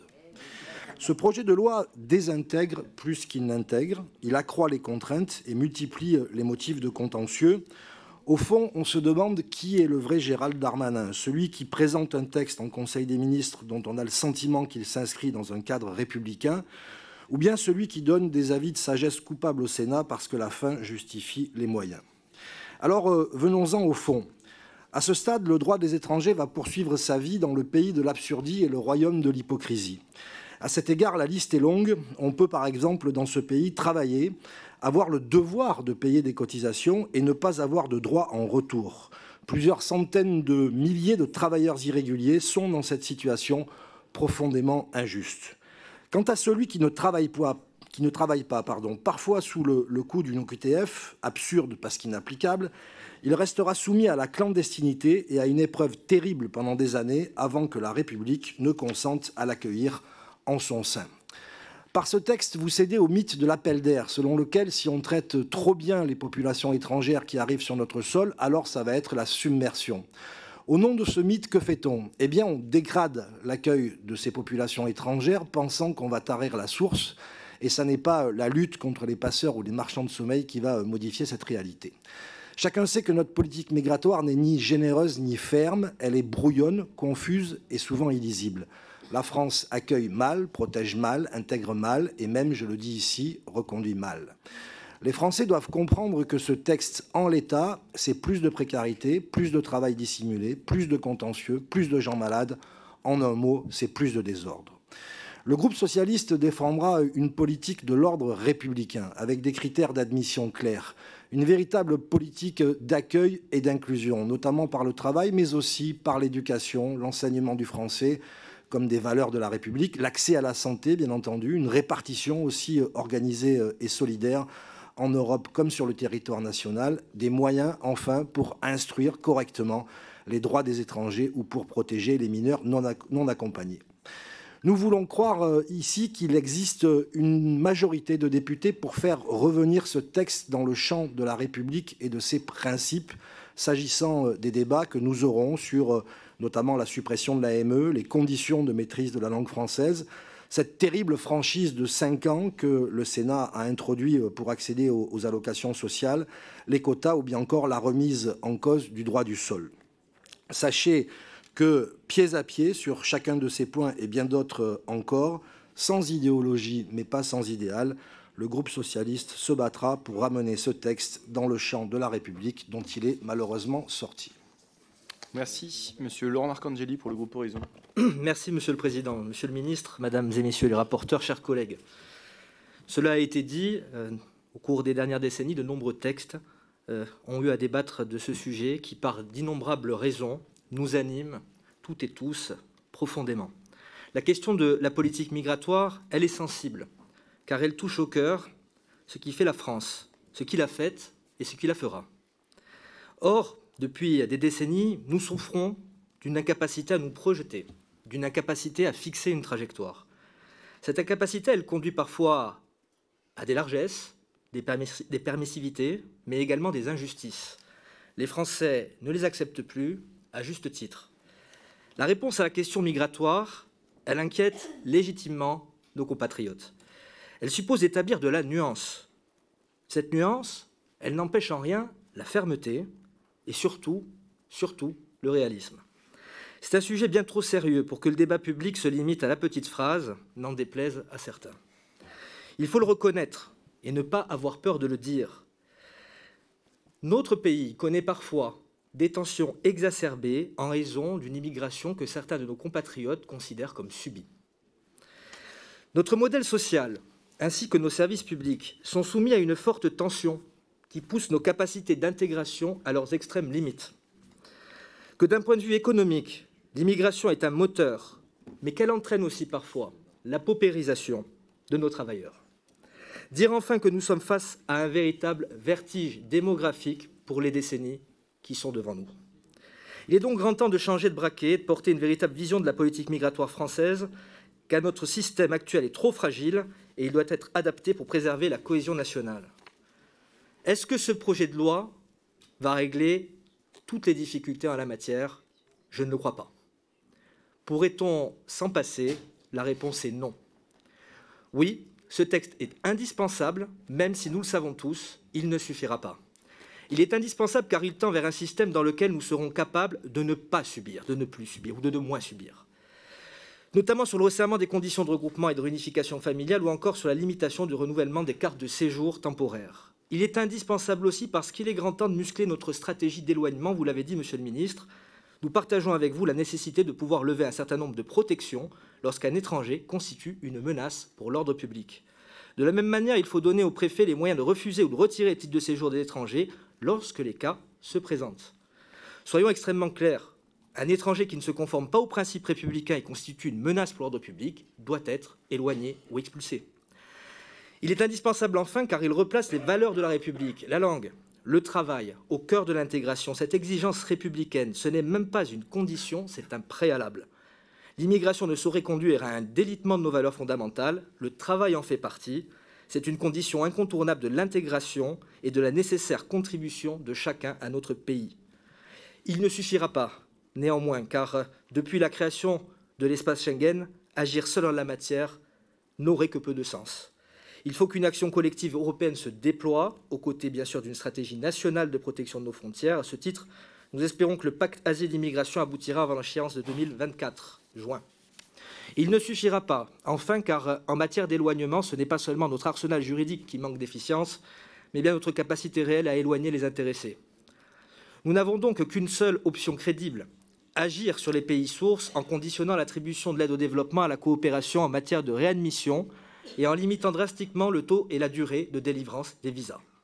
Nous ne pouvons continuer à financer massivement des projets structurants dans ces pays sans exiger une coopération efficace en matière de réadmission. Monsieur le ministre, est-il véritablement possible de concilier cette politique d'attractivité internationale menée par la France avec une politique de réduction rationnelle de nos flux migratoires? Je vous remercie. Monsieur Benjamin Lucas pour le groupe écologiste. Merci. Monsieur le ministre, euh, le passage à la caisse du supermarché est un véritable calvaire pour le porte-monnaie de nos concitoyens. Nos enseignants sont à bout et les inégalités scolaires demeurent parmi les plus élevées euh, de l'OCDE. 3 millions d'enfants ne partent jamais en vacances. Des milliers de gens crèvent de froid dans la rue ou dans des passoires thermiques. L'ONU nous alerte sur l'accélération du grand réchauffement, bien réel celui-ci.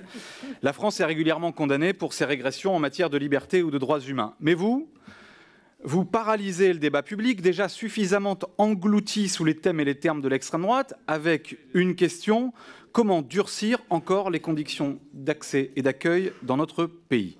Quel cadeau fait à Marine Le Pen? Peu importe si vous savez au fond que vous ne pouvez rien faire en réalité contre un phénomène humain, la migration qui existait avant vous et qui existera après. Vous ne pouvez et vous ne pourrez rien de plus que vos 29 prédécesseurs qui ont produit 29 lois sur le sujet en 40 ans.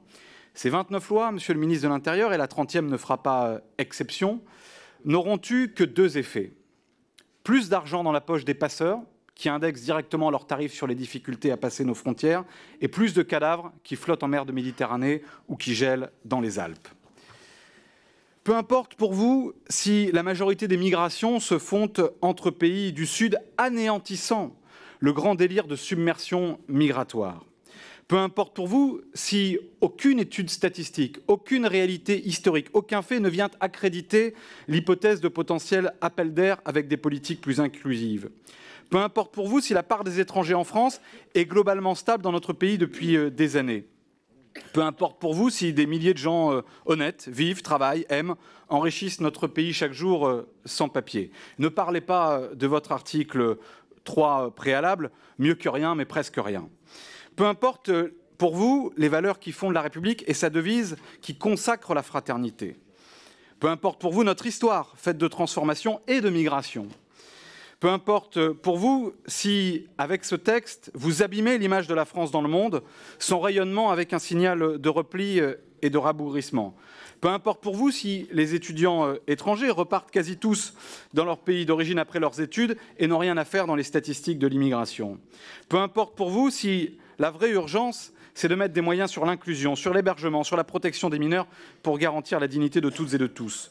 Peu importe pour vous tout cela, vous voulez votre loi à tel point que vous sacrifiez votre promesse d'équilibre, mal en point dès le texte initial, à toutes les compromissions avec la droite radicalisée, donnant votre blanc-seing pour faire entrer par pans entiers le programme de Marine Le Pen et de son père dans la loi. On l'a vu avec l'avis de la mal nommée sagesse donnée par le gouvernement sur la suppression de l'aide médicale d'État. Monsieur le ministre de l'Intérieur, vous pouvez encore, je le crois, éteindre l'incendie que vous avez vous-même euh, allumé, puisque vous nous promettiez il y a plus d'un an, ce texte a connu un parcours euh, chaotique, vous nous promettiez deux choses, un équilibre et une majorité.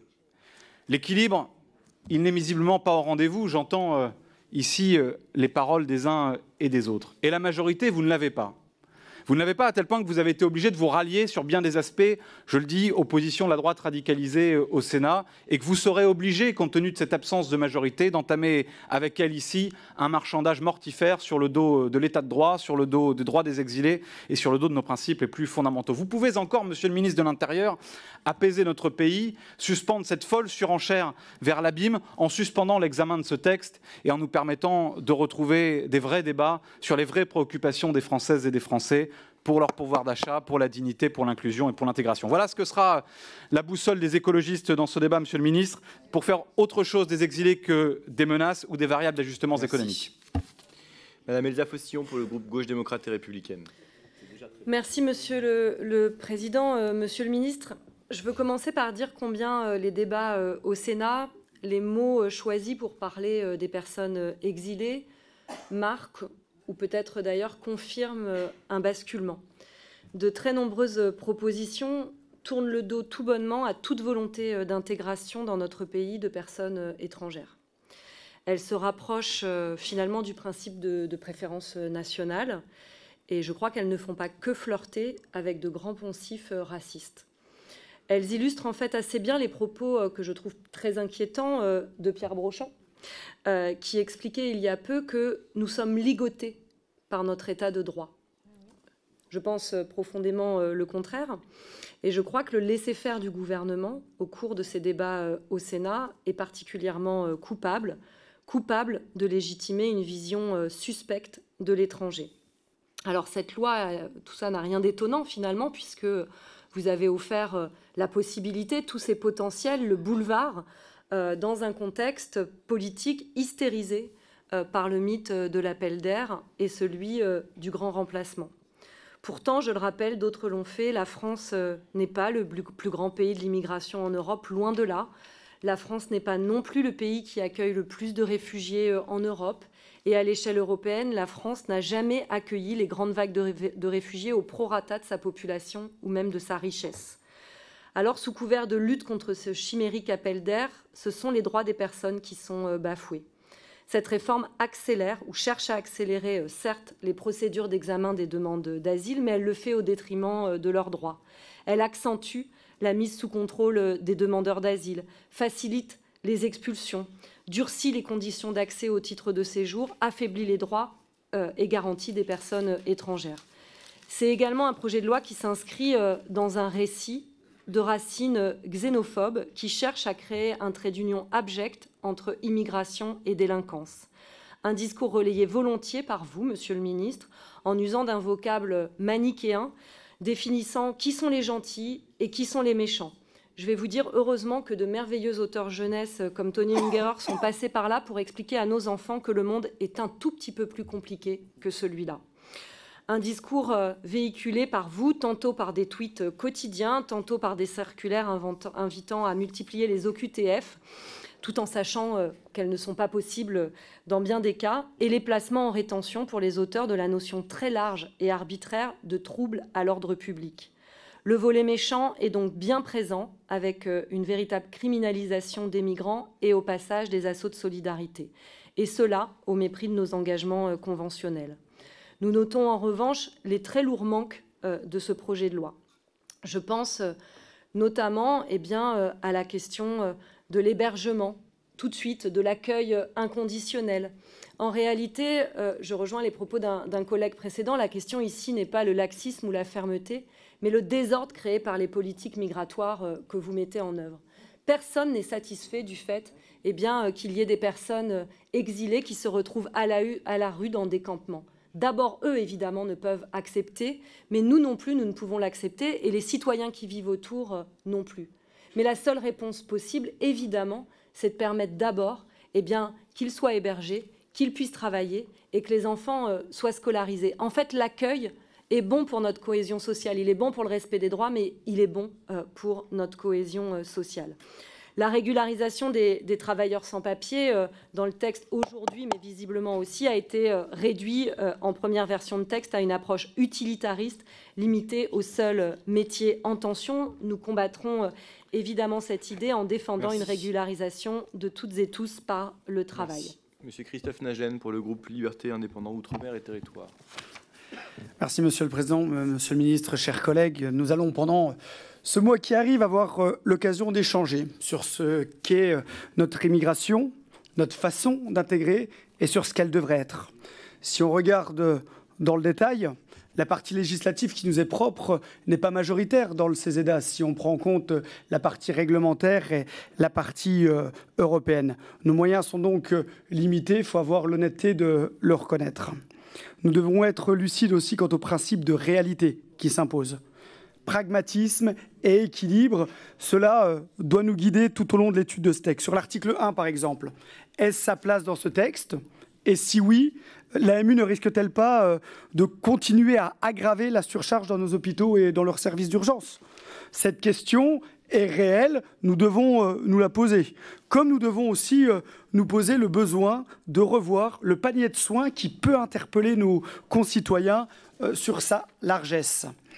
Il en va de même pour l'article 3. D'un côté, il faut des critères stricts qui ne laissent aucun doute sur le but d'une intégration par le travail, en cohérence avec les besoins des territoires et de ces entreprises. Il faut aussi des critères clairs qui ne servent pas de pompe d'aspiration, mais il serait incohérent d'occulter la réalité de la main-d'œuvre étrangère en France. Il faut donc trouver une voie de passage sur les métiers en tension qui est réelle et qui est une réelle demande de nos entreprises dans une grande majorité, voire dans la totalité de nos territoires. Ce serait une aberration d'occulter cette demande économique. Par contre, concernant certaines de ces entreprises, il faut aussi penser à des sanctions fortes pour celles qui profitent de ce système et qui exploitent des situations qui sont difficiles. Un réel besoin aussi de réformes administratif. On doit repenser notre façon de faire, non seulement pour réussir à minimiser au maximum les délais, mais aussi pour être plus efficace. Et pour ça, un seul, seulement un investissement massif dans nos services est nécessaire. Et si on reprend un rapport qui a eu lieu, qui a été rendu récemment, on voit bien que c'est dans nos préfectures qu'on a et dans ce service étranger qu'il y a eu euh, énormément de moyens qui ont été euh, supprimés. Ça interroge et ça montre surtout euh, qu'on a besoin de plus réinvestir dans ces services au sein, de, au sein de nos préfectures. Et on a aussi besoin de beaucoup plus départementaliser les services en lien avec euh, l'immigration. On parlera notamment euh, de l'OFI, euh, de la CNVA et autres. On a besoin d'une territorialisation et sans doute d'une départementalisation qui aiderait énormément à résoudre un certain nombre de, de problèmes. Enfin, une mesure essentielle, l'éloignement des étrangers menaçant l'ordre public. Elle doit être plus rigoureuse, plus rapide, exigeante et ne souffrir d'aucune faiblesse sur des, obstacles que nous aurions nous-mêmes créés. Bref, ce texte doit amener ce que les 29 autres n'ont pas fait, sans doute moins d'accueil, mais pour une meilleure intégration, afin de répondre aux réelles difficultés de notre temps présent et futur. Et enfin, pour les non-inscrits et pour une durée de deux minutes, Madame Emmanuelle Ménard. Merci, Monsieur le Président. L'augmentation rapide du nombre d'étrangers en France participe à l'embolie de beaucoup de nos services publics. Cette citation n'est pas de moi, mais d'un ancien Premier ministre, Édouard Philippe, comme quoi quitter l'exercice du pouvoir permet apparemment d'ouvrir les yeux sur la réalité. La politique d'immigration de la France est un échec. Plus de 320 000 titres délivrés en 2022 contre 277 000 titres en 2019 et une immigration clandestine que nous n'arrivons toujours pas à maîtriser sans même parler de la juguler. Ce n'est malheureusement pas nouveau, mais M. Macron n'a rien solutionné, victime de son en même temps permanent. Il explique à la fois qu'il veut être ferme sur les expulsions, mais en même temps qu'il faut encourager l'installation d'immigrés dans les campagnes. Il dénonce une politique absurde, à la fois inefficace et inhumaine, mais il oublie que c'est sa propre majorité qui a élargi la réunification familiale aux frères et sœurs de réfugiés et que le regroupement familial a grimpé d'environ 18% en 2021, après avoir augmenté en 2020 de 28%. Pour autant, je refuse le fatalisme en matière d'immigration. Une grande diversité de solutions existe chez nos voisins européens, Royaume-Uni, Allemagne ou Danemark, dont nous pourrions nous inspirer, à condition d'y mettre le prix. Des bonnes pratiques dénuées d'idéologie dans le cadre d'une réelle vision stratégique, éviter les appels d'air, renforcer l'assimilation, renforcer les conditions d'acquisition de la nationalité française, être ferme avec les délinquants étrangers, etc. J'y ajouterai quelques mesures toutes simples, comme la suppression du droit du sol, refuser automatiquement d'accorder l'asile à une personne faisant l'objet d'une OQTF, faire en sorte que le droit d'asile ne soit pas tous les jours détourné avec l'aide d'associations qui jouent contre notre pays, mais aussi contre ceux qu'elles prétendent défendre, ou encore refuser de marier un clandestin lorsqu'il fait l'objet d'une OQTF, par exemple.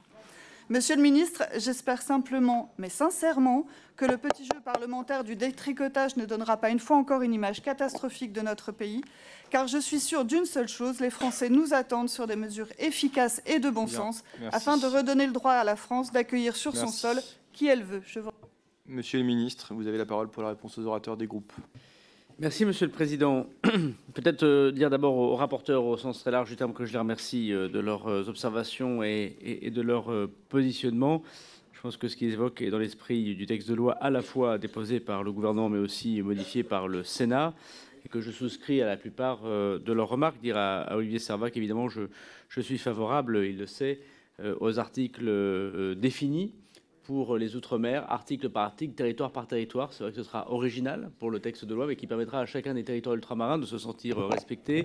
Et effectivement, il n'y a pas la même difficulté à Mayotte euh, qu'il y en a en Guyane, qu'il y en a à Saint-Pierre-et-Miquelon. Ce serait absurde de faire un, titre euh, ultramarin et, d'englober tout ça avec des dispositions générales, et encore pire, peut-être insultant, de les renvoyer à une ordonnance. Je voudrais d'ailleurs dire que, vous le savez, la Nouvelle-Calédonie euh, et euh, la Polynésie française ne sont pas concernés renvoi par ordonnance parce qu'ils le souhaitent et parce que par ailleurs l'application du droit n'est pas la même, la même, chose que les, régimes, des, territoires qui sont gouvernés par l'article 73 de la Constitution.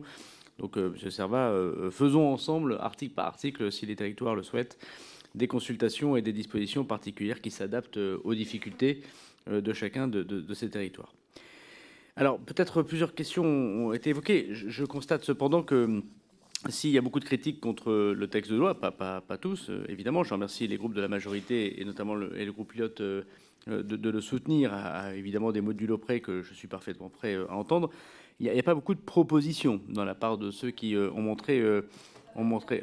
Non, je, ne m'inquiète pas, je, le constate. Voilà, c'est un peu, dommage parce que je crains aussi que ce qui sera intéressant, ce qui sera intéressant, c'est de parler du texte de loi tel qu'il existe et, pas tel qu'il est euh, euh, commenté, parce que je n'y retrouve pas toujours les, les- les- les articles de loi, y compris d'ailleurs modifiés par, le Sénat. Et, donc je pense qu'il serait bien, me semble-t-il, que nous discutions du projet de loi tel qu'il existe et, pas celui qui a été inventé. Par exemple, je sais pas, vous avez été voir la, rétention à 18 mois, elle n'est pas, dans le, texte par exemple, mais sans doute euh, est-ce euh, plus simple quand on discutera euh, amendement par amendement, article par article, il y aura peut-être euh, moins, euh, moins de suivi euh, médiatique. Sans doute était-ce pour ça qu'il y avait des propos peut-être très généraux et qui ne correspondaient pas euh, au texte de loi que j'ai proposé. Dire au Rassemblement national, dire au Rassemblement national que euh, le sujet n'est pas l'immigration euh, régulière dans ce texte de loi, c'est évidemment l'immigration irrégulière. Et sauf à être contre l'immigration tout court, euh, mais je n'ai pas compris ça de vos propos, y compris celle de votre candidate à l'élection présidentielle, il vaut mieux une immigration régulière qu'une immigration irrégulière. Et que dans l'immigration régulière, il doit y avoir un débat pour savoir ce qu'on souhaite comme immigration régulière. Mais c'est le débat de tous les pays au monde, de tous les pays au monde. Euh, et, euh, soit on fonctionne par quota, soit on fonctionne par objectif, soit on fonctionne par métier. On peut fonctionner évidemment par zone géographique. Euh, après, il y a des choix qui sont faits par les grands pays démocratiques, mais il y a toujours une immigration régulière. Donc ce que nous combattons, c'est l'immigration irrégulière. Évoquer le nombre de titres de séjour que nous euh, donnons, euh, n'a pas beaucoup de sens. Euh, ce qui est intéressant, c'est est-ce qu'on est capable de lutter contre l'immigration irrégulière. Par ailleurs, vous faites semblant de voir que vos dispositions n'empêcheront en aucun cas le- les demandes d'asile, puisque aucune disposition, d'ailleurs, ni dans votre programme, puisque vous en faites référence, ni dans celle des voisins européens qui sont inspirés parfois par votre politique, démontre leur efficacité. Et, je voudrais dire euh, en quelques mots, parce que ce qui est intéressant dans cette histoire euh, migratoire, c'est notre comparaison avec d'autres pays européens qui ont à peu près les mêmes difficultés que nous. Voilà. D'abord, c'est tout à fait faux de dire que nous avons le pays où on a le meilleur taux de protection. Vous l'avez dit, c'est une contre-vérité flagrante. En France, c'est 40% le taux de protection après CNDA. C'est-à-dire que nous, on est grosso modo à 25% à l'OFPRA et par des mesures euh, de justice administrative, que ce soit les, les premières instances ou les appels, à 40% de protection des personnes qui demandent l'asile. En Allemagne, c'est 46%. Et en Italie, je crois que chez, chez vos amis, ils sont à 62%. Donc, euh, vous voyez, nous sommes le pays, dans les trois grands pays qui nous accompagnent, où nous avons le moins de taux de protection donné à un demandeur d'asile. En France, c'est là où on a le moins de chances de l'obtenir. Et pourtant, nous avons à peu près les mêmes euh, demandeurs euh, d'asile. Donc, euh, euh, je pense que c'est déjà assez difficile, monsieur le député, pour ne pas dire euh, des idioties, euh, qui sont des contre-vérités flagrantes. Parce que là, dans ces cas-là, on ne va pas s'entendre, y compris sur le constat. Et ce qui est inquiétant euh, dans votre sujet, c'est que on aura l'occasion d'en reparler. On ne donne aucunement la possibilité de trouver des solutions, sauf celles que nous procédons, c'est-à-dire une simplification drastique des procédures. Parce que je regarde ce qui se passe en Italie, je regarde ce qui se passe en Grande-Bretagne. Prenons l'exemple de la Grande-Bretagne. C'est très intéressant, la Grande-Bretagne. Monsieur Johnson a été élu sur, grosso modo, votre programme politique qui consiste à faire le Frexit. Bon, donc vous, êtes pour la sortie de l'Union européenne, la sortie des traités européens et même, même, même, j'entends dire, la sortie de la CEDH. Bon. Donc peut-être qu'il y a un débat, il y a peut-être un débat désormais, mais bon, bah, c'est pas grave. Mais on a, voilà. Donc la Grande-Bretagne, Grande-Bretagne est sortie, la Grande-Bretagne est sortie des traités européens. Euh, Qu'est-ce qui s'est passé? Il n'y a jamais eu autant d'immigration irrégulière en Grande-Bretagne. Jamais eu autant. Bon. Deuxièmement, il n'y a jamais eu autant de peu d'expulsions du territoire britannique. 5000 entrées. 5000 sorties, pardon, sur un million d'étrangers réguliers. Il y a 5000 expulsions. 5000 expulsions du territoire britannique par an. Nous, quand on est, nous, à 20 000, 22 000, alors qu'on a à peu près deux fois moins d'immigration irrégulière, euh, chacun en convient. Et regardez la Cour suprême britannique, qui a retrouvé, dit- dit- dit-il, disent-ils les Anglais, leur souveraineté. La Cour suprême britannique vient de dire au gouvernement de M. Sunak, le pauvre qui euh, euh, désormais a l'héritage de M. Johnson, que non seulement cette histoire de Rwanda euh, ne tenait pas debout, puisque personne n'a jamais envoyé un réfugié au Rwanda, ni le Danemark, ni la Grande-Bretagne, je pense qu'on pourrait se le dire. C'est une disposition qui est imaginée, que personne n'a jamais mis en place.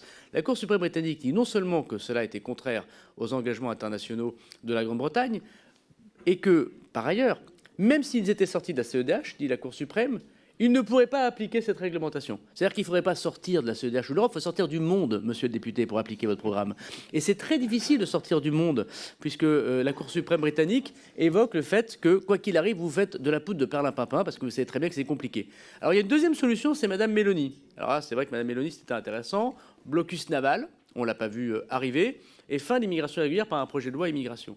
Il n'y a jamais eu autant, vous l'avez vu, d'immigration irrégulière depuis cinq ans euh, en, Italie, à tel point que Mme Meloni, et raisonnablement, elle a appelé à secours la Commission européenne, et notamment euh, Mme von der Leyen, qui est votre... Mais pour rigoler, mais c'est vrai, c'est ce que vous dites aux Français, et que ce soit L'image anglaise ou l'image italienne, c'est un échec, euh, parce que c'est évidemment une question très difficile que celle de l'immigration quand on regarde nos voisins, qui ne réussissent pas mieux que nous, et parfois font bien pire que nous. Et à la fin, elle appelle Madame Meloni, Madame von der Leyen qui vient à Lampedusa, et elle vote Madame Meloni, et je, suis le premier concerné pour être le ministre qui représente la France depuis trois ans et demi maintenant dans les conseils des ministres de l'Intérieur européens sur la proposition française. Elle adopte notre pacte migratoire sur euh, Eurodac, sur le règlement screening. Donc euh, je pense qu'il faut regarder les choses maintenant avec attention. Nous avons des comparaisons. Nous savons ce qu'est l'application du programme du Rassemblement national à l'étranger. C'est des mensonges vis-à-vis des Français, alors beaucoup de difficultés pour ceux euh, qui l'évoquent.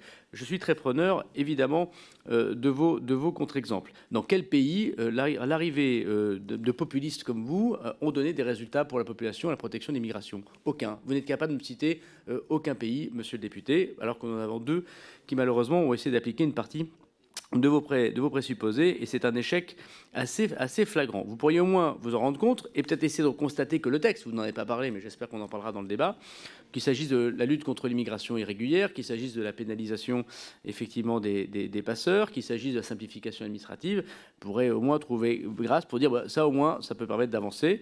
Je constate d'ailleurs qu'il y a un petit décalage entre ce qu'a dit votre présidente, euh, votre candidate ou présidente de groupe et, et ce que vous dites désormais. Euh, on aura l'occasion d'en reparler. Peut-être dire euh, euh, également à, à Madame, euh, Martin que j'ai entendu l'argument plusieurs fois et je l'entends répéter, mais c'est pas parce que c'est répété que c'est vrai. Vous dites qu'il y a 29 textes depuis 1983. Bon, très bien, la belle affaire. C'est vrai que euh, je dis pour ceux qui ont participé, Monsieur Solignac, euh, euh, Monsieur Lucas, des majorités qui appartenaient euh, au, gouver- au gouvernement de Monsieur Hollande, il y a eu trois textes d'immigration en quatre ans sous Monsieur Hollande. Ça, c'est tout à fait vrai. Il n'y en a eu qu'un seul en six ans de la part du président de la République. Voilà. Je ne sais pas combien vous avez de dispositions euh, pour euh, évoquer. Non, mais il y a eu un seul texte en six ans. Il y a eu un texte en six ans, il y en a eu quatre, euh, il y en a eu trois en quatre ans sous M. Hollande. Donc euh, si vous faites une critique, c'est celle de la gauche. Voilà. Donc euh, je, je vous en remercie, Monsieur Lucas, mais vous n'avez pas précisé que c'était notamment. il était président du MJS, Monsieur Lucas. Je ne savais pas. Je, je suis moins spécialiste que vous, Monsieur le Président de la Commission des lois. Merci, merci, Monsieur le Président. Donc pourquoi Et je, je n'en fais pas grief à Monsieur Hollande. Euh, pourquoi? Parce qu'il faut adapter, mais parce qu'il faut adapter notre législation à, par définition, le mouvement des hommes et les difficultés.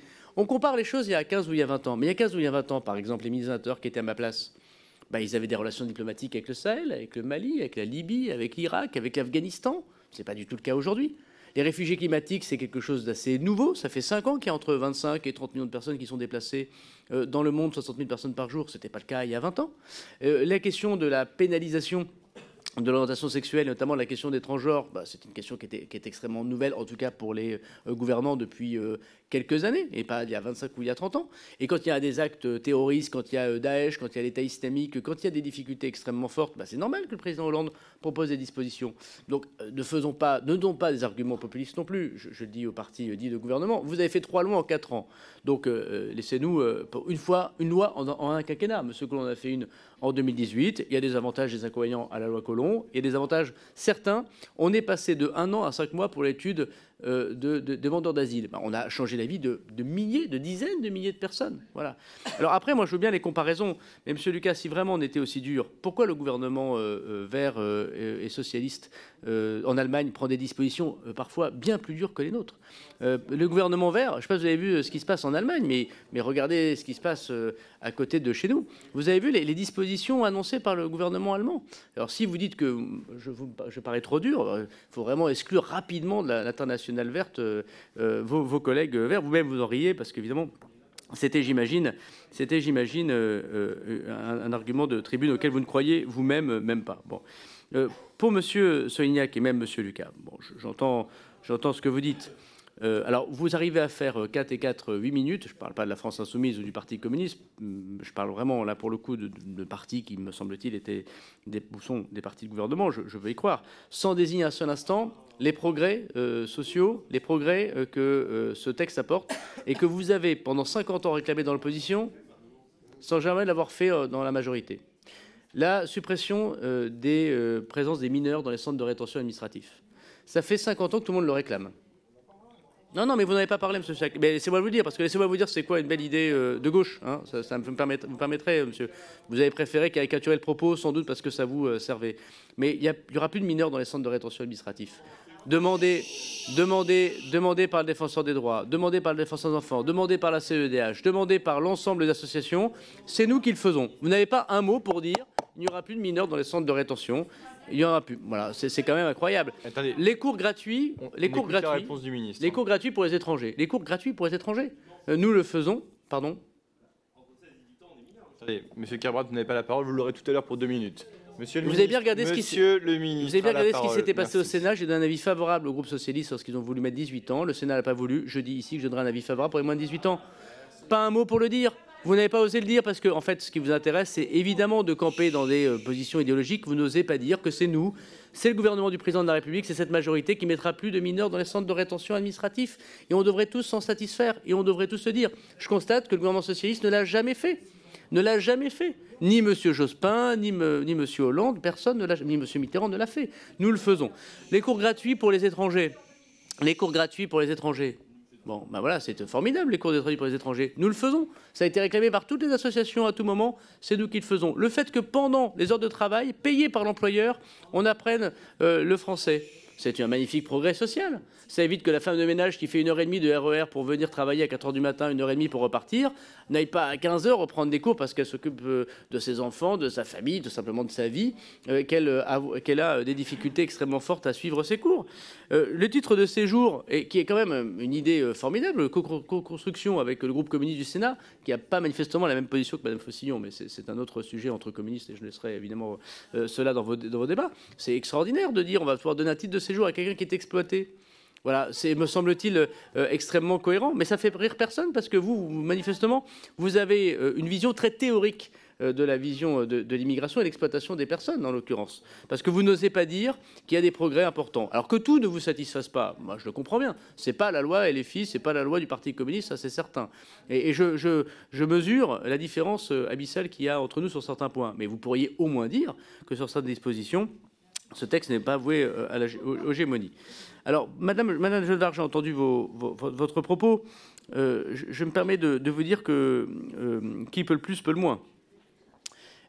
J'entends le débat sur la question constitutionnelle et conventionnelle. Je crois que dans le cas britannique, la démonstration est faite que, évidemment, même en sortant des traités européens, même en sortant, euh, c'est pas ce que vous dites exactement, mais on pourrait, euh, on en parlera lors de la PPL constitutionnelle évidemment, même en sortant ou en écrasant les règles de la, de la CEDH, euh, il y a des dispositions qui s'imposeront et il y aura toujours des juges. Euh, ça, je, je, vous l'accorde, il y aura toujours des juges qui jugeront et qui me donneront un avis, évidemment, y compris au nom de principes qu'ils créeront eux-mêmes. Bon, donc je sais que vous ne souhaitez pas revenir sur la séparation des, des pouvoirs, donc la question est de savoir qu'est-ce qu'on peut évidemment faire dans notre Constitution, la Convention européenne des droits de l'homme, qui peut nous permettre d'adapter, parce qu'après tout, est, discutable vu que tout ça est évolutif, d'adapter les choses. Ça, c'est un débat constitutionnel. Nous pensons, nous, que nous pouvons euh, largement améliorer les choses euh, avec la loi ordinaire, sans renier nos principes et sans surtout tourner le dos euh, à l'Europe. Parce qu'en faisant ça, on tourne un peu le dos quand même aux engagements européens, à tous les traités européens qui ont été poussés par tous les présidents de la République qui appartiennent à votre famille politique, du général de Gaulle jusqu'à Nicolas Sarkozy. Une fois qu'on a dit ça, et, mettons à part le débat. Est. Oui, mais le nôtre, je le dis bien volontiers, bien sûr, évidemment. Euh, une fois qu'on a écarté euh, cette idée euh, constitutionnelle et conventionnelle, parce qu'on aura ce débat à un moment donné, il y a tout ce qu'on peut faire qui ne relève pas de la Constitution, ne relève pas de la CEDH, qui relève de, notre, de notre pouvoir français, souverain, et du pouvoir du législateur. Est-ce que vous êtes pour ou contre le fait d'imposer, comme dans tous les pays européens sauf deux, un examen de français pour un titre de séjour long? Ça, c'est pas la CEDH, c'est pas la Constitution. C'est quelque chose de très concret. Est-ce qu'on est, d'accord pour dire qu'il faut un examen de français pour un titre de séjour pluriannuel? Ça, pas besoin, encore une fois, de réforme constitutionnelle. Est-ce que vous êtes pour ou contre que nous augmentions le temps d'assignation à résidence pour les personnes qui sont dangereuses? C'est ce que prévoit le texte. Ça, c'est pas la CEDH, c'est pas la, la, la, Constitution. Est-ce que vous êtes pour ou contre la coercition pour qu'on prenne les empreintes des étrangers pour savoir s'ils sont mineurs ou majeurs et pour connaître leur identité? Ça, il n'y a, plus que la France, on n'est plus que deux pays aussi à ne plus le faire. Ça, c'est pas la Constitution, c'est pas la Convention européenne des droits de l'homme. Est-ce qu'on est pour ou contre de criminaliser les passeurs? Euh, puisqu'aujourd'hui c'est un délit. Partout ailleurs, c'est un crime, sauf chez nous. Est-ce qu'on est pour ou contre euh, le retour euh, du, du, retrait pardon, du titre de séjour pour adhésion à une idéologie radicale J'entends dire que vous êtes pour qu'on retire les titres de séjour, qu'on expulse les salafistes ou les frères musulmans, par exemple, du territoire national. Euh, il n'y a pas de disposition qui existe. C'est là nous vous le proposons très clairement. Des gens qui sont dans la radicalisation, on puisse les expulser du territoire euh, national. Est-ce que vous êtes pour ou contre la simplification des procédures proposées par M. Buffet lui-même? Nous reprenons in extenso le rapport de M. Buffet. Ça, ce n'est pas la Constitution, ce n'est pas la Convention européenne des droits de l'homme. Est-ce que vous êtes pour ou contre qu'on supprime les dispositions qui aujourd'hui empêchent le ministre d'expulser des étrangers délinquants parce que, par exemple, ils sont arrivés avant l'âge de 13 ans sur le territoire national. Il n'y a que la France qui a ça. Il n'y a que la France, et vous savez tous que ça a été fait au début des années 2000, et ce n'est pas de réforme constitutionnelle, ce n'est pas de réforme conventionnelle. Le Conseil d'État, expressis verbis, dit dans son arrêt, dans son avis, que c'est expressément pas constitutionnel et expressément pas conventionnel que de prévoir ces réserves, et que, bien sûr, le législateur a le droit de revenir sur les dispositions. Est-ce qu'on est pour ou contre une application du droit particulier à Mayotte? Ou en Guyane, comme l'a euh, fait voter des sénateurs euh, maorais ou les sénateurs euh, guyanais euh, dans la haute chambre. Donc il y a des choses, Madame Genevard, sur lesquelles on aura peut-être des désaccords, incontestablement. Je ne reviens pas sur le, les dispositions que vous évoquez au début, parce que je crois que le président de la commission des lois, mais vous n'étiez pas euh, arrivé, a évoqué le principe de l'irrecevabilité. On pourra toujours en discuter à l'envie, mais sur le texte de loi en tant que tel, il y a des choses qui ne relèvent pas d'une réforme constitutionnelle. Ce serait une drôle d'excuse, et surtout l'idée qu'on n'a pas envie d'avancer, que de ne pas donner à nos policiers les moyens, par exemple, aussi bêtement qu'à la frontière italienne, de regarder ce qui se passe dans les véhicules de moins de 9 places. Aujourd'hui, les policiers ne peuvent pas, dans la bande de 20 km, arrêter des passeurs avec des moteurs de, bateaux entre le Nord et, et, la Belgique quand on va traverser la Manche. Est-ce qu'on a besoin de la réforme constitutionnelle? Donc il y a des débats de nature européenne et constitutionnelle que je ne veux pas euh, trancher ici, et ils trancheront euh, le moment venu, euh, bien évidemment. Il peut y avoir des désaccords, je le comprends bien, mais toutes ces dispositions, je, je je j'ai du mal à comprendre pourquoi il faut changer absolument la Constitution ou la Convention européenne des droits de l'homme pour les adopter pour des choses aussi bêtes que choux parfois, mais qui empêchent très concrètement nos policiers, nos gendarmes, nos préfets de faire leur travail et d'améliorer l'intégration.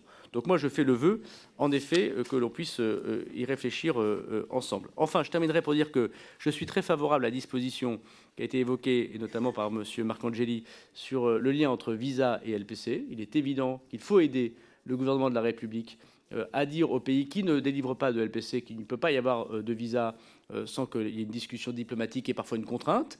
Il y a eu des dispositions qui ont été imaginées par le Sénat, mais je veux dire à la majorité qu'elles étaient dans le comité interministériel dès 2019 du pré- que le président de la République a évoqué lui-même de conditionnement, je sais que c'est une question difficile, entre l'aide au développement et certains pays qui ne jouent pas le jeu des laissés-passer consulaires ou qui sont des, gens qui persécutent pour des raisons euh, sexuelles ou des raisons religieuses une partie de leur population. Je pense que c'est effectivement un débat qui est compliqué, qui est original, mais, qui euh, mériterait d'être mené. Et puis je voudrais dire que l'argument qui est de dire on est passé de 27 à 90 articles et c'est le Sénat qui a fait les autres articles, c'est pas tout à fait vrai. Il y a eu une vingtaine de créations d'articles du fait du gouvernement par 26 amendements que j'ai moi-même proposés. Donc euh, on peut dire au, minimum qu'il y a une co-construction. 50-50, ça, peut s'entendre, avec effectivement beaucoup d'irrecevabilité. Mais l'argument de on est passé de 27 à 90 grâce au Sénat, il y a 26 amendements qui ont été adoptés euh, par le Sénat, qui ont créé autant d'articles avec notamment des choses qui intéressent euh, tout le monde et qui sont difficiles, comme l'asile en rétention, c'est la première fois que nous l'imaginerions, la prolongation de la durée euh, maximale d'assignation résidence, je l'ai dit, ou le raccourcissement des délais entre déplacements de rétention, ou la réforme entière du JLD, qui là aussi n'est pas de valeur euh, constitutionnelle. Alors à la fin, je terminerai par dire qu'il est évident que c'est difficile de gérer le ministère de l'Intérieur et de mener une politique migratoire. C'est très très très difficile. Et, euh, il est évident qu'il y a des échecs, bien sûr, et que moi, ce que je viens de demander au Parlement, c'est des moyens supplémentaires pour être plus efficace. Est-ce que ce texte, comme dit M. Marcangeli, règle tout? Non, il ne règle pas tout. Bien évidemment qu'il ne règle pas tout. Et il y a bien sûr un équilibre à avoir, et chacun dans son groupe politique met l'équilibre où il le souhaite. Je veux simplement vous dire que le ministre de l'Intérieur que je suis et tous les services qui sont euh, sous mon autorité, quels que soient les ministres, essayent de faire le maximum de ce qu'il peut, avec les moyens qu'il a, puisqu'il respecte les règles de la République. Mais je prends l'exemple de M. Equissen puisque ça, c'est quand même, euh, me semble-t-il, très intéressant. Monsieur Equissen, il est euh, depuis plus de 50 ans sur le territoire de la République. Il a quatre enfants nés en France, majeurs. Il est propriétaire. Il s'est marié en France. Il est un imam radical. Il n'a rien fait, il n'a aucun casier judiciaire, sauf qu'il est un imam radical, nous le savons comme tel, il est fiché. Depuis des années et des années et des années, l'État se demande comment se débarrasser de ce nauséabond monsieur. Qu'est-ce qui s'est passé? L'État, heureusement pour la République, vous n'avez jamais été à sa tête, je le dis pour la France insoumise. Qu'est-ce qui s'est passé? Il s'est passé que vous avez voté une loi qui s'appelle grosso modo la loi séparatisme, et qui donne un principe général qu'entre la, la vie normale et la radicalisation, le passage à l'acte terroriste, il y a le séparatisme. Et nous avons défini une disposition qui nous permet de séparer des gens qui touchent profondément le fonctionnement de notre nation. Fort de cette loi, j'ai fait procéder par le préfet du Nord à l'expulsion de M. Cuisset dans des conditions très difficiles. À la fin des fins, il n'est plus sur le territoire national il a appliqué lui-même, et c'est une très bonne chose, euh, le fait qu'il ne devait plus rester il ne peut plus revenir sur le territoire national. Le tribunal administratif m'a donné tort, c'est vrai, parce qu'il était né en, parce avait quatre enfants en France, parce qu'effectivement il s'était marié en France, parce qu'effectivement. Mais à la fin des fins, le Conseil d'État me donne raison. Et oui, c'est ça d'être ministre de l'Intérieur et parfois avoir les mains dans le cambouis. Et parfois on réussit pas, parfois on réussit. Et parfois on va, voir le juge et on lui dit regardez, cette personne est dangereuse. Regardez, cette personne est mortifère. Regardez l'esprit du législateur. Et à la fin, on me donne euh, raison. J'en tire pas une gloriole particulière. Je dis juste qu'il faut aller devant le juge et il faut pouvoir le faire. Aujourd'hui, sur 4000 cas de délinquants étrangers par an, mesdames et messieurs les députés, 4000 cas par an, je ne peux même pas aller devant le juge pour demander l'expulsion. Parce que vous ne m'autorisez pas à y aller, puisque vous avez voté une loi il y a 20 ans qui m'empêche de le faire. À la fin, bien sûr, il y aura un juge. Moi, je ne suis pas tout-puissant, je ne suis pas euh, ministre dictateur. Euh. Si on peut avoir un débat normal sans rire et sans ricaner de la part de la France insoumise, je pense qu'on y gagnerait en démocratie. Voilà. C'est une chose importante que de parler des hommes et des femmes, voilà, et, et pas de pas avoir de discours humaniste à l'extérieur et ne pas traiter sérieusement les personnes, ce serait une très bonne chose. Et je pense qu'un débat digne ne serait positif pour tout le monde, puisque c'est un débat extrêmement sérieux qui parle à l'intérêt général de l'État, de la sécurité des Français, de la sécurité des personnes. Mais bien sûr qu'il y a 4000 personnes par an que je pourrais euh, expulser davantage si la loi me l'autorisait. Voilà. Et moi, je vais vous dire, sur les plus de 3000 demandes d'expulsion que j'ai demandées, 2500 ont été expulsés en 2023. OK, la justice, et moi je la respecte profondément, voilà, m'a refusé 500 cas sur 3000. Mais j'en ai expulsé 2500. Il y en a 4000 supplémentaires que je ne peux pas expulser parce que vous n'avez pas voté cette disposition à ce texte de loi. Bah, je pense que dans ces cas-là, euh, il faudra qu'on en parle et qu'on en parle chacune à nos électeurs. il me reste 12 inscrits. On commence par M. Thomas Rudigoz pour deux minutes. Oui, merci Monsieur le Président. Monsieur le Ministre, l'intégration est un pilier fondamental pour faire nation et est une part très importante de ce projet de loi. Cela concerne bien évidemment l'apprentissage de la langue et le groupe Renaissance en fera un point crucial dans les débats. Je souhaiterais, Monsieur le Ministre, même si vous l'avez déjà beaucoup développé, que vous puissiez euh, nous préciser un certain nombre de mesures sur ces questions d'apprentissage euh, du français. Cela englobera également l'accès à l'éducation, aux soins de santé et à tout ce qui permet de créer du commun. Et là aussi, la recherche d'un équilibre sera nécessaire et nous nous y employerons. Par ailleurs, le volet relatif au travail est évidemment essentiel. Il est primordial que nos politiques comblent les besoins du marché du travail, mais aussi valorisent les compétences des personnes qui sont sur nos territoires et qui ont envie de s'intégrer. Je ne compte plus le nombre d'entrepreneurs, artisans ou commerçants qui me font remonter, qui nous font remonter des situations incompréhensibles où des personnes étrangères sont empêchées de travailler pour des formalités administratives contraignantes sur des postes qu'ils n'arrivent pas à pourvoir par ailleurs. Encourager l'accès à l'emploi dans des secteurs en demande tout en garantissant des conditions équitables est une approche nécessaire et nous nous y emploierons lors des débats. À ce titre, je souhaiterais, Monsieur le ministre, attirer votre attention sur les délais en préfecture qui sont encore bien trop longs, surtout dans certaines préfectures avec de grandes métropoles comme Lyon et le Rhône. Et cela est bien trop long pour euh, nombre de personnes concernées et enquistant ainsi un grand nombre de situations. Quelles sont donc les mesures, Monsieur le ministre, que vous envisagez de prendre pour réduire les délais dans les services concernés dans nos préfectures? Je vous remercie. Madame Edwige Diaz.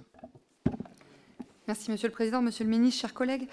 Ce projet de loi fait éclater au grand jour la discorde qui règne au sein de la majorité macroniste. Tout d'abord, ce qui a attiré notre attention, ce sont les modifications calendaires de ce texte. Pour rappel, il a été annoncé à l'été 2022. Il a ensuite été remplacé par un débat sans vote en hémicycle en décembre 2022. Voyant que ça coinçait dans la majorité, le président de la République a envisagé en mars 2023 de le saucissonner en deux projets distincts, un sur l'immigration avec vous, monsieur le ministre, puis un sur le travail avec monsieur Dussopt, qui au passage a disparu des radars puis le président de la République s'est rétracté un mois plus tard. En ce qui vous concerne, Monsieur le Ministre, c'est sûr que lorsqu'on a un collègue, par ailleurs président de la Commission des lois, qui annonce vouloir élargir les droits des étrangers extra-européens, notamment en leur octroyant le droit de vote et d'éligibilité aux élections municipales, et qui co-signe une tribune dans Libération avec l'extrême gauche pour soutenir la régularisation des clandestins, on se dit que dans vos réunions de la majorité, il doit y avoir de l'ambiance. Mais je crois que pire que cette instabilité de calendrier et ces petites pots de banane que vous vous envoyez entre vous, ce qui est grave, c'est que vous n'êtes pas d'accord entre vous sur le fond du texte. Prenons un exemple, la transformation de l'aide médicale d'État en aide médicale d'urgence. En octobre, Monsieur le ministre, vous vous êtes dit favorable à cette évolution. Depuis, vos collègues, les ministres Véran, Rousseau ainsi que Madame Borne, ont exprimé leur opposition à vos propos. Quant à Madame Firmin Lobodo, ministre déléguée aux professions de santé, on ne sait pas trop ce qu'elle pense de tout ça. En bref, en ce qui vous concerne, Monsieur le ministre, vous avez dû sortir les rames pour essayer d'expliquer pourquoi vous avez changé d'avis sur l'AME. On vous a ainsi vu arguer qu'une suppression de l'AME serait censurée par le Conseil constitutionnel. C'est quand même pas très sérieux quand on est ministre de l'Intérieur de, de se rendre compte de cela seulement maintenant. Ainsi, ma question est la suivante. Alors que près de trois quarts des Français souhaitent une transformation de l'AME en AMU, est-ce qu'ils peuvent nourrir l'espoir que vous retourniez encore votre veste sur ce sujet? Et si vous ne le faites pas, les 78% des Français qui ont une mauvaise opinion de la politique migratoire que votre gouvernement mène n'ont aucune raison de changer d'avis. Madame Diaz, la démocratie, c'est compliqué. Vous devriez peut-être essayer au Rassemblement national, ça vous changerait. Par ailleurs, défendre le texte du gouvernement dans une tribune. Non, non, non, mais défendre, défendre le texte du gouvernement dans une tribune, ça peut aussi vous changer. Vous devriez le lire plutôt que de raconter des choses erronées. Vous avez l'habitude, en tant que soutien inconditionnel de la Russie, d'avoir recours aux fausses informations. Monsieur Thomas Porte. Monsieur le, Président, Monsieur le Ministre, vous l'avez dit dans le Parisien, vous rêvez de supprimer l'AME, le Sénat l'a fait pour vous. Et contrairement à ce que vous avez dit en introduction, on ne vit pas de l'AME. Depuis 1893, l'aide médicale gratuite, qui était l'héritière de l'aide médicale d'État, résiste aux assauts démagogiques, xénophobes et racistes. Depuis 1893, elle subit des attaques à répétition, avec pour dernière en date la réforme de 2021 qui complique déjà le recours à l'aide médicale d'État.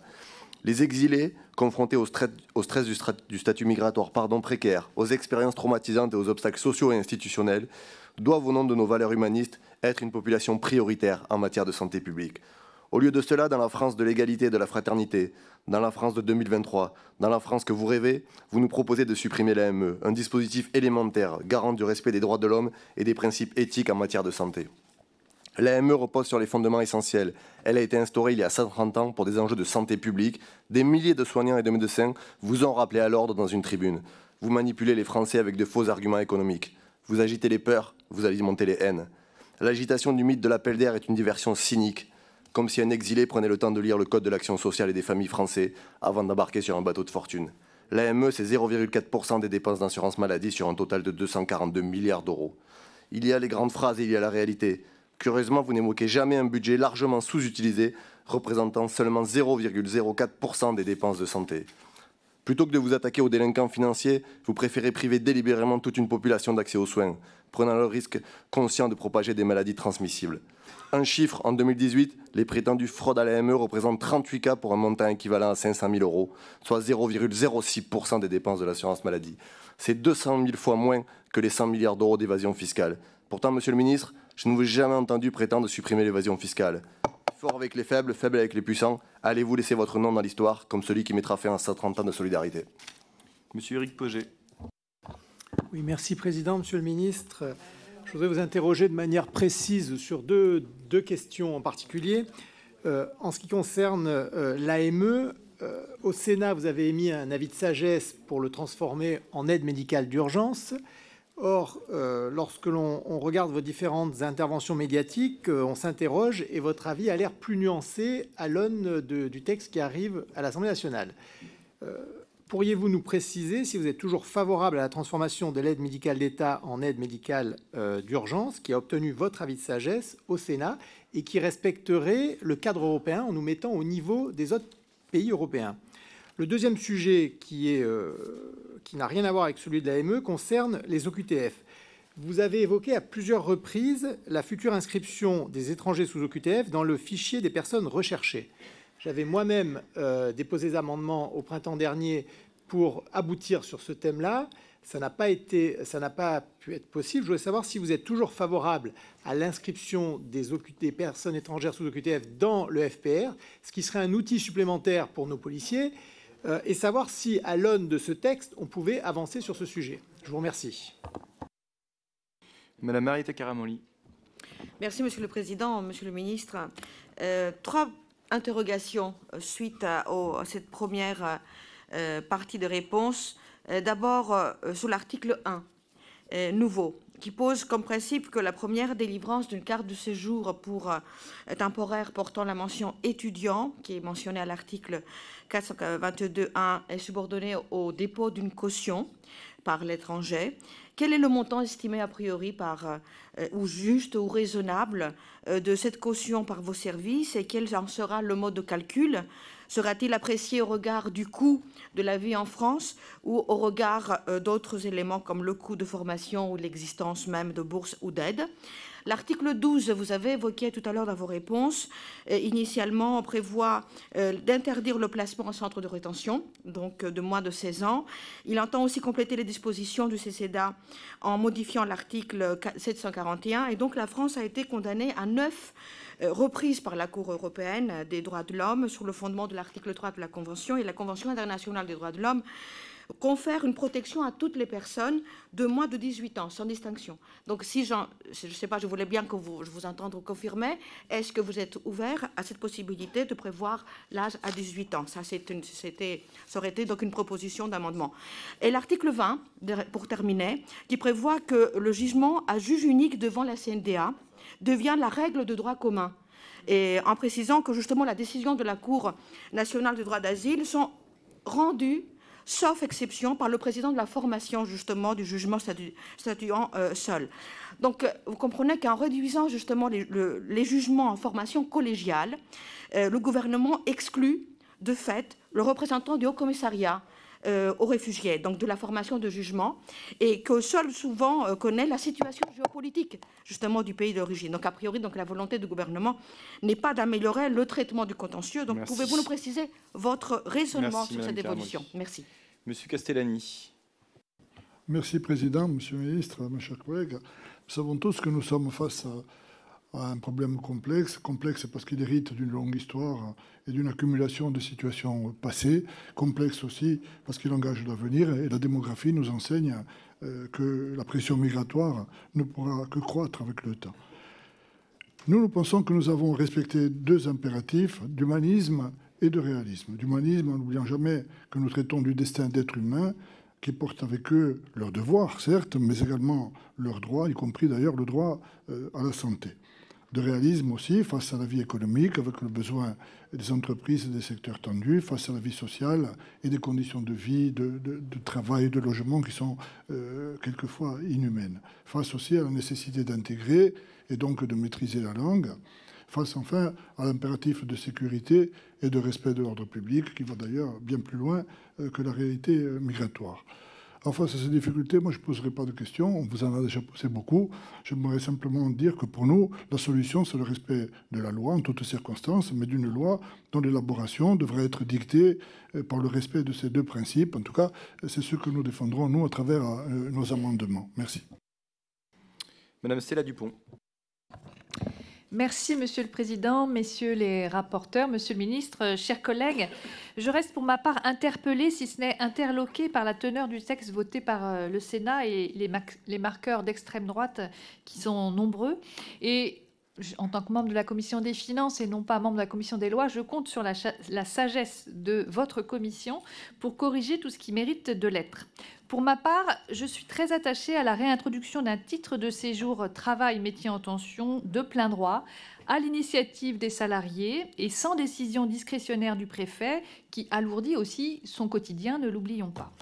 Je suis aussi très attachée à l'anticipation de l'accès au travail des demandeurs d'asile de façon générale et plus particulièrement sur les demandeurs d'asile de nationalité fortement protégée dans une logique d'accélération de leur intégration.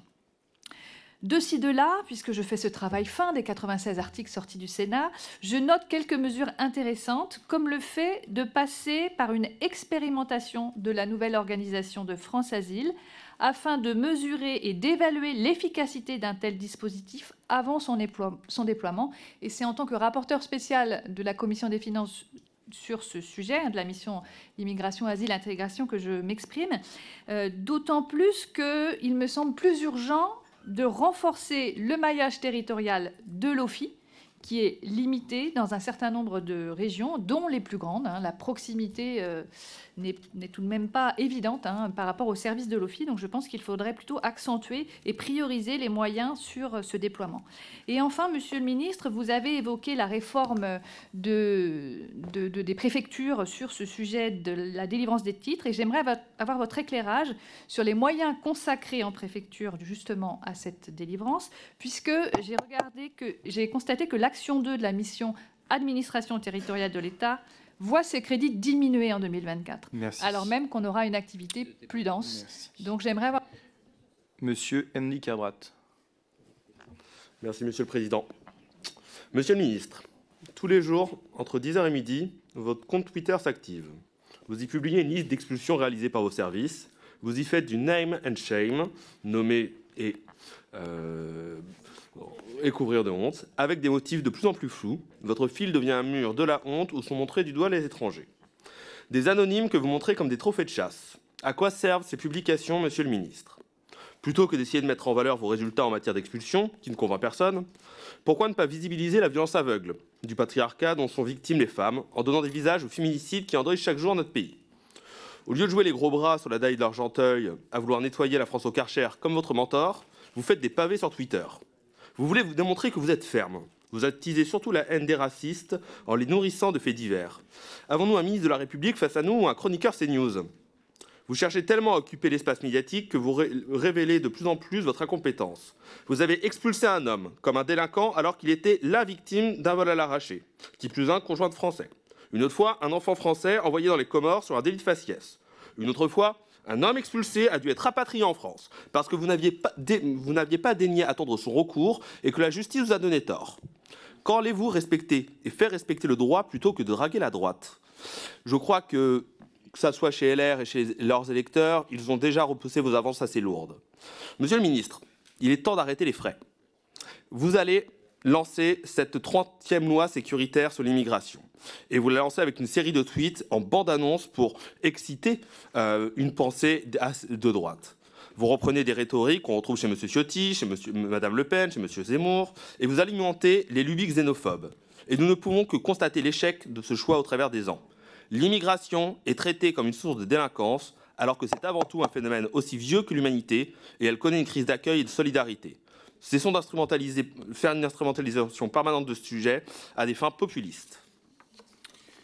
Monsieur Mansour Kamardine.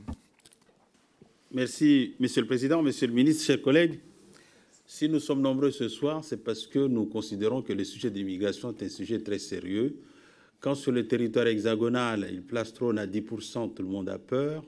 À Mayotte, on est au-dessus de 60% sur un territoire de 374 km, avec euh, plus de 450 000 habitants, euh, population réelle, 290 000, monsieur le ministre, dossiers en cours d'instruction, des gens qui demandent toujours à venir à Mayotte, plus de 100 000 titres de séjour qu'on a enfermés sur euh, une cocotte, une cocotte minute, plus de 80% de nos écoles euh, peuplées d'enfants de parents d'origine euh, étrangère quand elles ne sont pas immigrées, plus de 200 000 gamins en face, à 70 km de là, qui attendent d'aller à l'école à Mayotte, des financements que l'État n'arrive plus à suivre, 11 000 naissances tous les ans à Mayotte, dont 75% des gamins de parents d'origine étrangère, étrangère.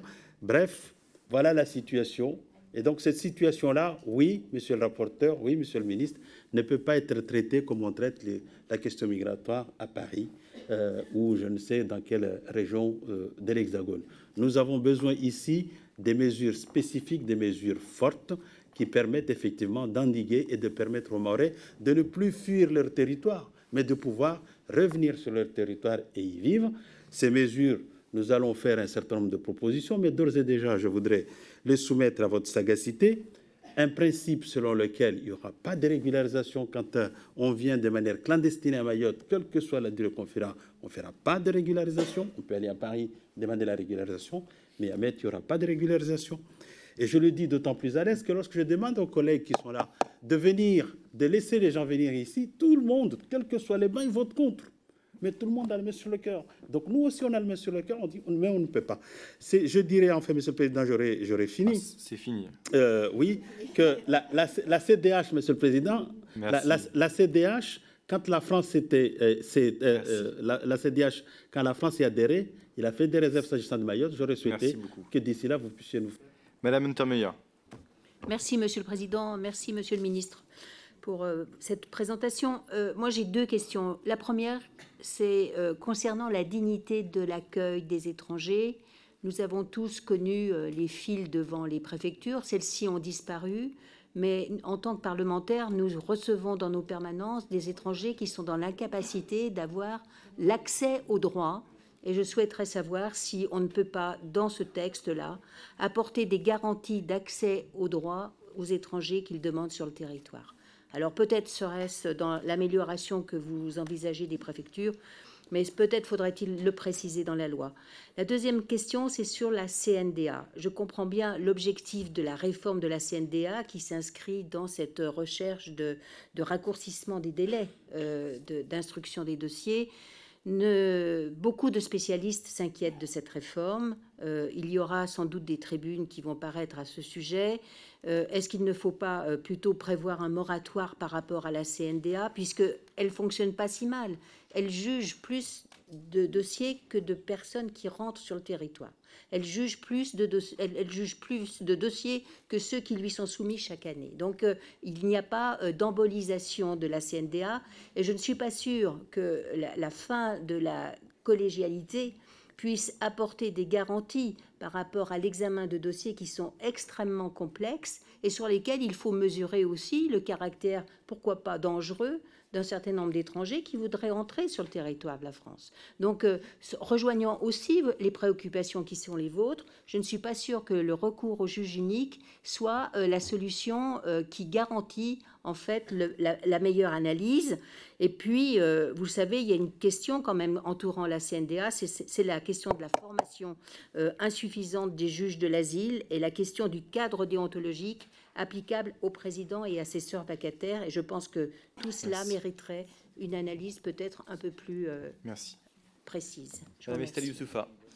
Merci, Monsieur le Président. Monsieur le Ministre, je veux commencer par saluer le travail des forces de l'ordre et des enquêteurs qui ont procédé à un vaste coup de filet à Nîmes et arrêté les auteurs présumés du meurtre de Fayed, un petit Maoré de 10 ans, tué par le narcotrafic. Je veux aussi vous alerter sur la vague de violence qui sème à nouveau la terreur à Mayotte depuis plusieurs semaines à Sada, à Bandrabois, à Mamoudzou, à Wangani, des bandes de barbares qui pillent, vandalisent, incendient, agressent et sèment la mort nuit et jour. Pour nous, à Mayotte, les enjeux migratoires sont un sujet de sécurité, mais ils provoquent surtout une crise hors du commun, la plus grave que connaît notre pays. Plus de la moitié de la population est étrangère, en grande partie en situation irrégulière. Notre territoire implose. Les services publics sont saturés. Notre seul hôpital sert d'abord les étrangers qui arrivent en grande détresse. Point d'AME à Mayotte et nous attendons là-dessus puisque la dépense pour la santé des étrangers se fait actuellement aux dépens de la santé des Maoris. Mayotte, territoire le plus pauvre de France, accueille le plus d'étrangers et nous n'en pouvons plus. La modification de l'acquisition de la nationalité portée par le sénateur plusieurs, il y a plusieurs années est passée sans aucune modification de la Constitution. Mayotte ne peut plus entendre ce faux argument pour défendre l'inertie, comme nous n'acceptons plus le refus de mettre fin aux visas territorialisés qui fixent les étrangers à Mayotte et transforment notre île en cocotte minute. L'argument de l'appel d'air ne tient pas puisque Mayotte implose déjà sous la pression migratoire et nous et nous avons surtout besoin de la solidarité nationale pour faire face. Ma question, Monsieur le Ministre, quelles mesures avez-vous prévues pour Mayotte dans votre texte? Je vous remercie. Monsieur Jean-François Coulombe. Merci Monsieur le Président. Monsieur le Ministre de l'Intérieur, la France insoumise se place ici aujourd'hui en porte-voix des agents de l'Office français des réfugiés et des apatrides, l'OFPRA, qui ont été en grève, grève à laquelle se sont joints des agents de la CNDA, Cour nationale du droit d'asile. Ils ont été en grève et le seront de nouveau prochainement afin d'alerter sur leurs conditions de travail désastreuses qu'aggrave votre projet de loi, mais aussi et surtout pour demander le retrait de son chapitre 4 et dénoncer votre politique du chiffre. Cette politique du chiffre que vous aimez tant, au détriment des salariés, des demandeurs d'asile, des droits humains et du bon sens. Une politique du chiffre de plus en plus poussée, avec des procédures de plus en plus complexes, des délais de plus en plus courts, avec comme maître mot la régulation et les économies. Mais venons-en au fond. Pour l'OFPRA, est-ce afin d'accompagner au mieux et au plus près les demandeurs que vous voulez créer des pôles France Asile et territorialiser l'OFPRA? La réalité, Monsieur Darmanin, c'est qu'en soumettant l'OFPRA à la tutelle politique et administrative des préfets, vous mettriez fin à son indépendance. Pour la CNDA, vous voulez territorialiser la Cour, supprimer la collégialité et supprimer la présence du Haut Commissariat aux réfugiés. La réalité est que vous renversez un principe fondamental et que cette proposition met en danger réel l'équité et l'impartialité dans l'examen des recours. Tous ces constats ne sont pas les nôtres, Monsieur le ministre de l'Intérieur mais ceux de plus de 200 professionnels travaillant à la CNDA, de grévistes, de représentants des avocats, de très nombreuses associations humanitaires. Face à cela, ma question, qui est aussi celle des agents de l'OFPRA et de la CNDA, des grévistes et associations en soutien, est la suivante. Monsieur Darmanin, pourquoi voulez-vous mettre fin à l'indépendance et à l'impartialité de l'OFPRA et de la CNDA Que répondez-vous à ces agents? Monsieur Fabien Di Filippo. Merci, Monsieur le Président, Monsieur le Ministre de l'Intérieur. Deux questions en ce qui me concerne. La première, sur les délais administratifs de traitement des demandes. Vous avez évoqué l'embolie des, juridictions. On constate, tout autant qu'on est dans nos, préfectures, des délais qui sont très très longs. Vous avez parlé de la priorité aux primo-demandeurs. Est-ce que dans les services des étrangers, il y a aujourd'hui les capacités nécessaires euh, pour, euh, pour absorber ces, ces, flux de demandes? Parce que, eh bien, comme vous l'avez dit, plus longtemps on se maintient euh, en attente d'une réponse sur le territoire et plus l'expulsion devient euh, devient impossible. La deuxième question, je compléterai une question sur l'aide médicale d'État qui vise à prendre en charge les besoins médicaux des, des, clandestins et les restrictions que les républicains ont voulu y apposer en la transformant en aide médicale d'urgence. On est loin des caricatures faites par la gauche. Il ne s'agit pas de ne plus soigner les gens qui porteraient des maladies graves ou qui porteraient des maladies très contagieuses. Je vous rappelle, et c'est écrit sur le site de l'assurance maladie encore, que l'aide médicale d'État prend en charge au bout de neuf mois pour les personnes qui ont violé nos lois présentes illégalement en France, le recollement des oreilles, les prothèses d'épaule ou de genoux, la pose d'anneaux gastriques et le traitement du canal carpien. Donc sur ces sujets-là, je pense qu'on peut évoluer. Le, contribuable français ne comprend plus qu'il a à prendre en charge de tel type de frais de santé pour des personnes qui ont violé nos lois. C'est ça l'objet de notre demande et je voulais avoir votre position par rapport à cet état de fait. Monsieur Arthur Delaporte. Merci, Monsieur le Président. Euh, monsieur le Ministre, euh, tout à l'heure, vous avez, euh, d'une certaine manière, dit la gauche, on n'entend pas vos propositions. Mais je crois qu'on a été extrêmement clair déjà dans ce qu'on a pu dire. Et par ailleurs, je vous renvoie au projet du, Parti socialiste sur le sujet. On, on vous le renverra par mail si vous le souhaitez pour avoir un peu de lecture. Et je vous assure que la vision n'est pas du tout celle que vous présentez aujourd'hui. Et je vais reprendre un peu ce que disait ma collègue Elsa Fossillon tout à l'heure. Il y a ce qu'il y a dans, dans, la loi, et euh, il y a des horreurs, encore plus après le Sénat. Il y a surtout ce qui n'y est pas. Et nous, notre rôle, c'est de faire le droit, mais aussi de lutter contre le non-droit. Je vais prendre deux exemples sur lesquels j'aimerais avoir un retour de votre part. Le premier, c'est ce qui se passe à la frontière, en particulier à la frontière franco-italienne, avec ce qu'on appelle les locaux de mise à l'abri. Monsieur le ministre, ces locaux ne sont pas définis dans le droit, ils sont absents euh, également de ce texte, et il s'avère qu'on constate dans ces, lieux des conditions euh, qui s'apparentent à de la privation de liberté, sans pour autant qu'il y ait euh, un accueil digne des personnes qui y sont, ni qu'elles aient accès à, à l'exercice de leurs droits fondamentaux. Ça, c'est le premier point, Monsieur le ministre, et donc je souhaiterais avoir votre réaction sur ce point. Deuxième sujet, euh, je vais prendre euh, le département du Calvados. Euh, il y a deux campements importants. Le premier à Caen, avec une centaine d'Afghans. Le deuxième à Ouistreham, avec à peu près 200 euh, Soudanais. Ces deux pays sont des pays en guerre. Une bonne partie des personnes, notamment à Ouistreham, la majorité d'entre eux ont fait une demande d'asile. Pour autant, ces personnes restent dans des camps, n'ont pas accès à l'hébergement d'urgence. Il y a un problème d'accès aux droits aujourd'hui pour les demandeurs d'asile. Monsieur le ministre, je ne vois pas ça dans le texte et j'attends votre réponse sur ce point également. Je vous remercie. Dernier orateur inscrit, Monsieur Jordan Guiton. Merci, Monsieur le Président. Monsieur le Ministre, ma question sera simple et portera sur les chiffres de l'immigration et de l'avenir de votre action. Selon les données de votre ministère, en 2022, plus de 320 000 premiers titres de séjour ont été délivrés. Plus de 160 000 personnes ont demandé l'asile en 2022. Et selon vos propres mots, lors de l'audition au Sénat, vous estimez entre 600 000 et 900 000 le nombre de personnes présentes irrégulièrement sur le territoire national appelées clandestins. Vous qui parlez, je cite plusieurs fois, de fermeté à propos de votre texte dans la presse en audition et qui évoquait un texte d'intérêt général. Sachant qu'en 2022, donc, nous avons accueilli un peu moins de 500 000 personnes dans notre pays et que vous estimez qu'il y a entre 600 000 et 900 000 clandestins. Envisagez-vous, si votre texte est adopté, une baisse réelle de l'immigration légale exclure plus de clandestins que vous n'allez en régulariser. Je vous rappelle que nos compatriotes sont en droit de savoir, alors que selon plusieurs sondages, ils souhaitent une diminution considérable, à plus de 71%, des flux de l'immigration sur le territoire national, et qu'ils souhaitent aussi euh, un référendum sur l'immigration que votre majorité a refusé.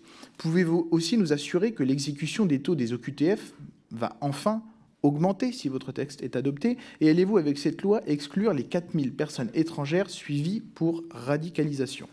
Pouvez-vous donc enfin nous assurer que les flux migratoires légaux et illégaux vont enfin baisser comme le réclament nos compatriotes ou allez-vous faire malheureusement l'inverse? Je vous demande de répondre à mes questions qui sont d'intérêt national lorsqu'on connaît les conséquences néfastes de l'immigration pour notre pays que nous dénonçons depuis des années. Je vous remercie. Monsieur le ministre, pour vos réponses à tous les orateurs. Merci, merci beaucoup, euh, Monsieur le Président. Merci aux, aux orateurs. Euh, Peut-être répondre à Monsieur Rudy Gauze, mais ça correspond à d'autres questions, notamment celle posée par M. Di Filippo ou Mme Dupont sur le fonctionnement des, préfectures, euh, je, veux redire une nouvelle fois que j'ai parfaitement conscience du mauvais service public rendu euh, à nos concitoyens euh, qui ont envie d'accompagner des personnes qui veulent être régularisées ou qui vont renouveler leur titre de séjour ou par des personnes étrangères qui voudraient accéder en effet à leurs droits. Je profite pour dire à Mme Entenhammer que si elle veut préciser dans le texte de loi la façon dont on accède aux droits, il est évident que j'y donnerai un avis euh, favorable pour pouvoir, euh, bien sûr, permettre à chacune et à chacun de faire valoir ses droits euh, devant les services publics dans des conditions pas faciles où on parle mal français, parfois pas du tout, dans des conditions évidemment parfois d'illettrisme, dans des conditions évidemment de, violence qu'on a subies. Donc je pense qu'il y a bien une explicitation de ces droits. c'est bien naturel, c'est pas du tout évidemment opposé au fait qu'on puisse être par ailleurs ferme, puisque évidemment on rentre dans des, dans des cases prévues par le législateur et qu'il faut évidemment que le non-recours à son droit ne puisse pas exister dans la République française. Donc je voudrais ici le, dire pour euh, précéder euh, un éventuel dépôt d'amendement. En dire donc à M. Ridicos, à Mme Stella Dupont et à M. Di Filippo que le sujet, c'est à la fois la numérisation de, de ce qu'on appelle le back-office, puisque vous avez vu qu'il y a l'ANEF. Donc l'ANEF, c'est quoi? C'est la numérisation des procédures pour les étrangers. Euh, si j'étais rapide, je dirais euh, l'impôt à la source appliqué euh, aux préfectures, puisque tout était en papier quand je suis arrivé au ministère de l'Intérieur, avec des conditions extrêmement difficiles, avec des étrangers qui changent de préfecture et donc évidemment des difficultés à suivre cela. Et ça, c'est le travail évidemment que doivent faire notamment les services, puisqu'en 2025, nous aurons terminé la nef. En 2024, c'est pour répondre en partie au crédit qu'évoquait Madame Dupont, on a 60% des, euh, procédures dématérialisées au 1er janvier 2024. Donc on peut imaginer quand même qu'on y fasse quelques économies. Je tiens dire à Madame Dupont que sur la, il y a une augmentation d'effectifs de 400 personnes dans les préfectures que vous avez voté dans la LOPMI. Euh, je vous en remercie, mais par ailleurs, il est aussi vrai qu'on a 20% de vacataires, donc on embauche plus de vacataires dans les préfectures, aussi parce qu'il y a un manque d'attractivité de certains métiers.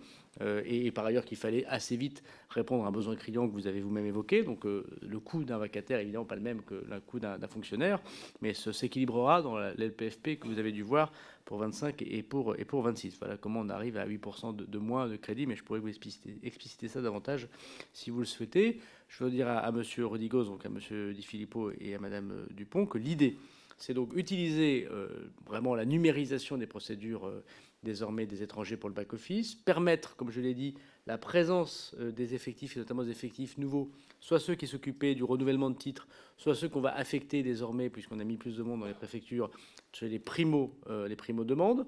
Une fois qu'on sait que cette personne n'a pas de casier judiciaire, qu'elle a réussi son examen de français et qu'elle a des états civils qui sont euh, non frauduleux, bah, une fois qu'on a donné un titre pluriannuel, de permettre l'automaticité. Parce qu'aujourd'hui, euh, de mémoire, je crois qu'on est euh, à une 100 000 titres renouvelables qui seraient concernés en, flux, et c'est à peu près 400 000 en stock. Donc c'est vraiment énorme, et notamment très concentré dans les grandes régions, dans les grandes régions évidemment urbaines, et dans les départements ruraux, ils ont la, double peine, puisque évidemment il y a de moins en moins d'effectifs. Il y a eu de moins en moins d'effectifs dans les préfectures ou dans les grosses sous-préfectures qui s'occupaient des étrangers, notamment dans la ruralité. Et donc, euh, euh, vraiment, je veux dire, c'est la révolution copernicienne qu'on va imposer euh, aux préfectures de s'occuper des primos et de rendre automatique les, les titres de séjour que, sur lesquels la République a déjà, si j'ose dire, délibéré.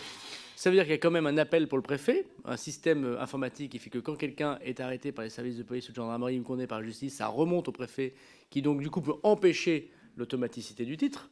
Euh, ou retirer le titre de séjour, notamment sur l'article 13 qu'on a évoqué tout à l'heure, mais l'idée de tous ceux qui ne posent aucun problème de pouvoir avoir leur renouvellement. Je dis d'autant plus que, encore une fois, nous mettons nous-mêmes dans l'irrégularité des personnes parce qu'ils n'ont pas à temps leur rendez-vous en préfecture. Ça, c'est un problème quand même euh, important. Ce n'est pas de la faute de l'étranger, c'est de la faute de l'État français.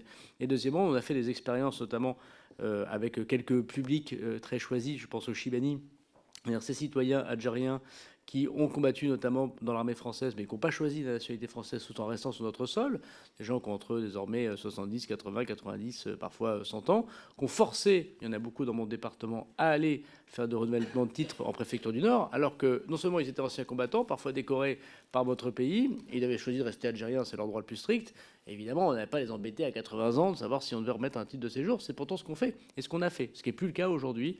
Et donc évidemment, on va généraliser cela plus de moyens, numérisation, concentration sur les primo-arrivants, automaticité, alerte en cas de problème de casier judiciaire. Je pense que c'est une transformation très importante. Moi, je veux redire ici mes, mes remerciements profonds euh, aux, agents des préfectures qui, euh, souvent, euh, voilà, dans des difficultés administratives et parfois avec un public compliqué, c'est bien normal parce qu'ils cherchent à avoir leurs droits, restent toujours, je crois, très, très, très calmes et très professionnels. Et je veux dire à leurs représentants que je pense que cette loi va les, servir, bien évidemment. Et je suis prêt, j'ai dit au président de la commission des lois, de présenter devant la commission des lois le détail. de, cette, de cette réforme des préfectures lorsqu'il le souhaitera avec les directeurs concernés. Euh, vous m'avez posé plusieurs questions autour de l'AME. Alors, on va essayer de redire sur un sujet compliqué, mais il y a moins de monde, donc peut-être qu'il sera moins polémique sur quelle est ma position personnelle, puisque je me suis exprimé et que j'ai le droit d'en avoir une, bien évidemment. L'aide médicale d'État n'était pas dans le texte que j'ai proposé euh, au euh, gouvernement, ni au Conseil d'État, ni à la table du Conseil des ministres, ni au Sénat. Bon, donc il n'y avait pas de disposition santé dans ce texte. Pourquoi? Parce que j'ai voulu me concentrer sur des dispositions qui sont déjà extrêmement compliquées, qui sont les dispositions du Code des étrangers. Et l'aide médicale d'État, j'étais trois ans ministre des Comptes publics, on en parlait chaque année dans un débat budgétaire, puisque c'est euh, un débat qui relève du budget ou du Code de la santé publique, pas d'un débat qui relève du droit des étrangers. C'est euh, d'ailleurs une question intéressante, puisque Madame Youssoufa, euh, ça peut paraître paradoxal, mais elle réclame à Mayotte l'AME. Elle ne réclame pas à Mayotte l'AME parce qu'elle est pour plus d'étrangers euh, à l'hôpital euh, de Mayotte. Et je pense que c'est la même chose pour le député Camardine. Elle réclame l'AME pour qu'on puisse tracer les dépenses des étrangers irréguliers à Mayotte. J'imagine que les députés maorais ont l'idée par ailleurs du, coup de pouvoir chiffrer le nombre exactement d'étrangers qui sont euh, à Mayotte, puisque, bon, voilà, euh, M. Camardine, je ne renie pas ces chiffres, mais entre 30% de M. Servat et 60% de M. Camardine, je pense que la vérité, à mon avis, est entre les deux. Mais enfin, c'est beaucoup d'étrangers en situation irrégulière qui y a à Mayotte, personne ne le conteste, je crois, sérieusement, et prévoit que c'est une compensation budgétaire, donc de l'État, à la sécurité sociale, de voir euh, que les étrangers qui ne payent pas de cotisation, les étrangers irréguliers, puissent être quand même soignés par des médecins qui les soigneront quoi qu'il arrive. Donc d'abord, l'AME, c'est avant tout une question budgétaire. C'est qui paye?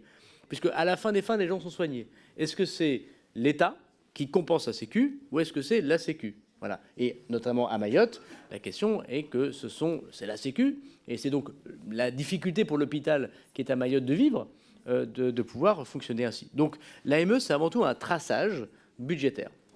Et au moins, l'avantage de l'AME, c'est de savoir à quoi ça correspond. Mon, avis, un, c'est que dans ce texte de loi, il ne doit pas y avoir l'AME. Je l'ai dit depuis le début, et ça n'a rien de contradictoire. Vous lisez sans doute très mal, ou alors peut-être que je m'exprime extrêmement mal, ce qui est une possibilité aussi. Euh, balayons notre chemin. J'ai dit qu'à titre personnel, on pouvait se poser des questions sur l'AME. Je ne suis pas tout à fait d'accord avec les dispositions qui consistent à dire que l'AME doit être changée au nom de son panier de soins.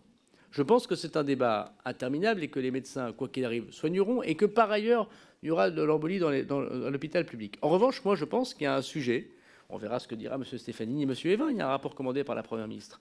Il y a un sujet sur le fait que l'AME, certes, c'est 25% d'enfants, donc il faut faire attention à ce que l'on fait, mais c'est aussi 75% de personnes qui sont là depuis plus de trois ans sur le territoire national. Et j'attire l'attention des parlementaires, qu'ils soient pour ou contre l'AME transformée en AMU, l'AME tout court, ou la suppression de l'AME, ou la progression générale de l'AME, sur le fait que quand vous êtes un étranger en situation irrégulière qui arrive en France, un demandeur d'asile euh, qui euh, euh, n'a pas encore demandé son asile, par exemple, il n'a pas le droit à l'AME dans les trois premiers mois de sa présence sur le territoire national. donc ça veut dire qu'on peut se poser quand même la question de l'AME. Est-ce que l'AME d'aujourd'hui fonctionne bien? C'est une question très, intéressante, parce que dans les trois mois qui suivent sa présence sur le territoire national, il ne peut pas être euh, donc du coup couvert par sa vaccination, par la parturiente qui a une, a une femme enceinte et qui va donc accoucher. Et puis par ailleurs, il peut avoir les neuf mois, au bout de neuf mois de présence irrégulière, l'intégralité du panier, notamment de la consultation à 100% chez le généraliste. Et, là, pendant, avant neuf mois, c'est aussi un problème. Parce que c'est pendant cette période-là où, normalement, on devrait être attentif à, lors de sa présence sur le territoire national, en attendant de lui donner ou pas un titre de séjour. Et c'est pour ça que le projet de loi me paraît assez cohérent. Le but du jeu du, projet de loi, c'est d'accélérer les procédures. Qu'on dise oui, qu'on dise non. Pendant cette période d'accélération, qu'on couvre la santé des personnes, ça me paraît évident. La question qui se pose et qui devrait tous nous interpeller, c'est pourquoi 75% des gens qui sont à la sont là depuis plus de trois ans sur le territoire national?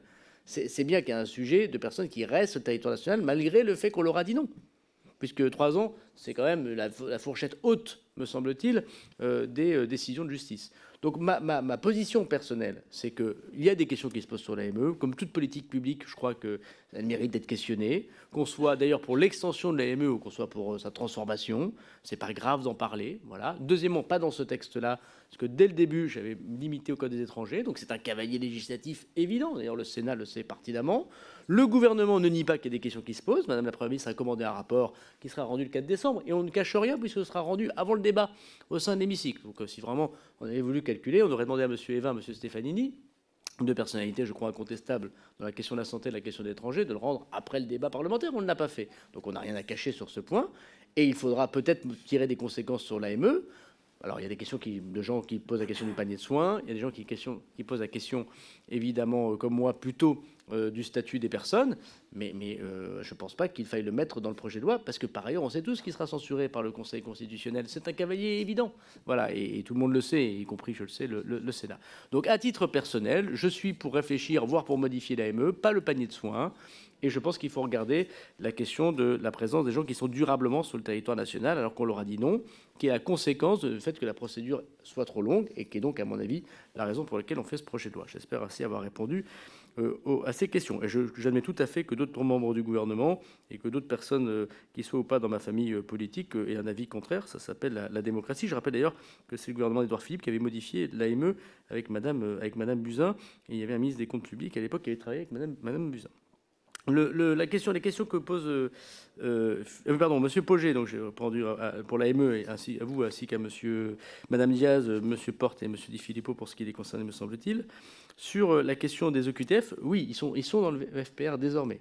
Donc euh, il y a une instruction qui date de 2022, quand je m'étais engagé devant vous, le 17 novembre 2022, que j'ai signé, qui a été validé par le Conseil d'État parce que cette instruction a été attaquée par un certain nombre de personnes. Le Conseil d'État m'a donné raison et on inscrit désormais les personnes qui ont des EQTF dans le fichier du FPR. La difficulté, monsieur le député, vous le savez bien, c'est qu'une très grande partie de ces EQTF sont suspensifs de l'action de la police. Donc ce n'est pas parce que nous constatons quelqu'un que nous pouvons euh, la, la, considérer. Évidemment, FPR, il y a plusieurs catégories, et on distingue évidemment l'étranger en situation irrégulière, qui n'a commis aucun crime et délit. Euh, je rappelle que le délit euh, de séjour irrégulier a été euh, euh, supprimé par une loi de 2012, mais aussi par une directive européenne, d'ailleurs élaborée par le PPE. Mais le maintien de séjour du délit, maintien de séjour irrégulier est toujours un délit. Euh, c'est ce qui permet aux services de police de faire leur, leurs actions. C'est pour ça que le débat sur le délit de séjour régulier, monsieur le rapporteur général, me paraît un, débat euh, un peu ésotérique dans les faits pour les policiers et pour les gendarmes. On aura l'occasion d'en reparler. Cependant, euh, tous ces personnes qui sont au QTF sont dans le FPR et ils ne sont pas dans les mêmes cases, évidemment, que ceux qui sont des criminels. Il y a des personnes recherchées, il y a plusieurs types de personnes recherchées.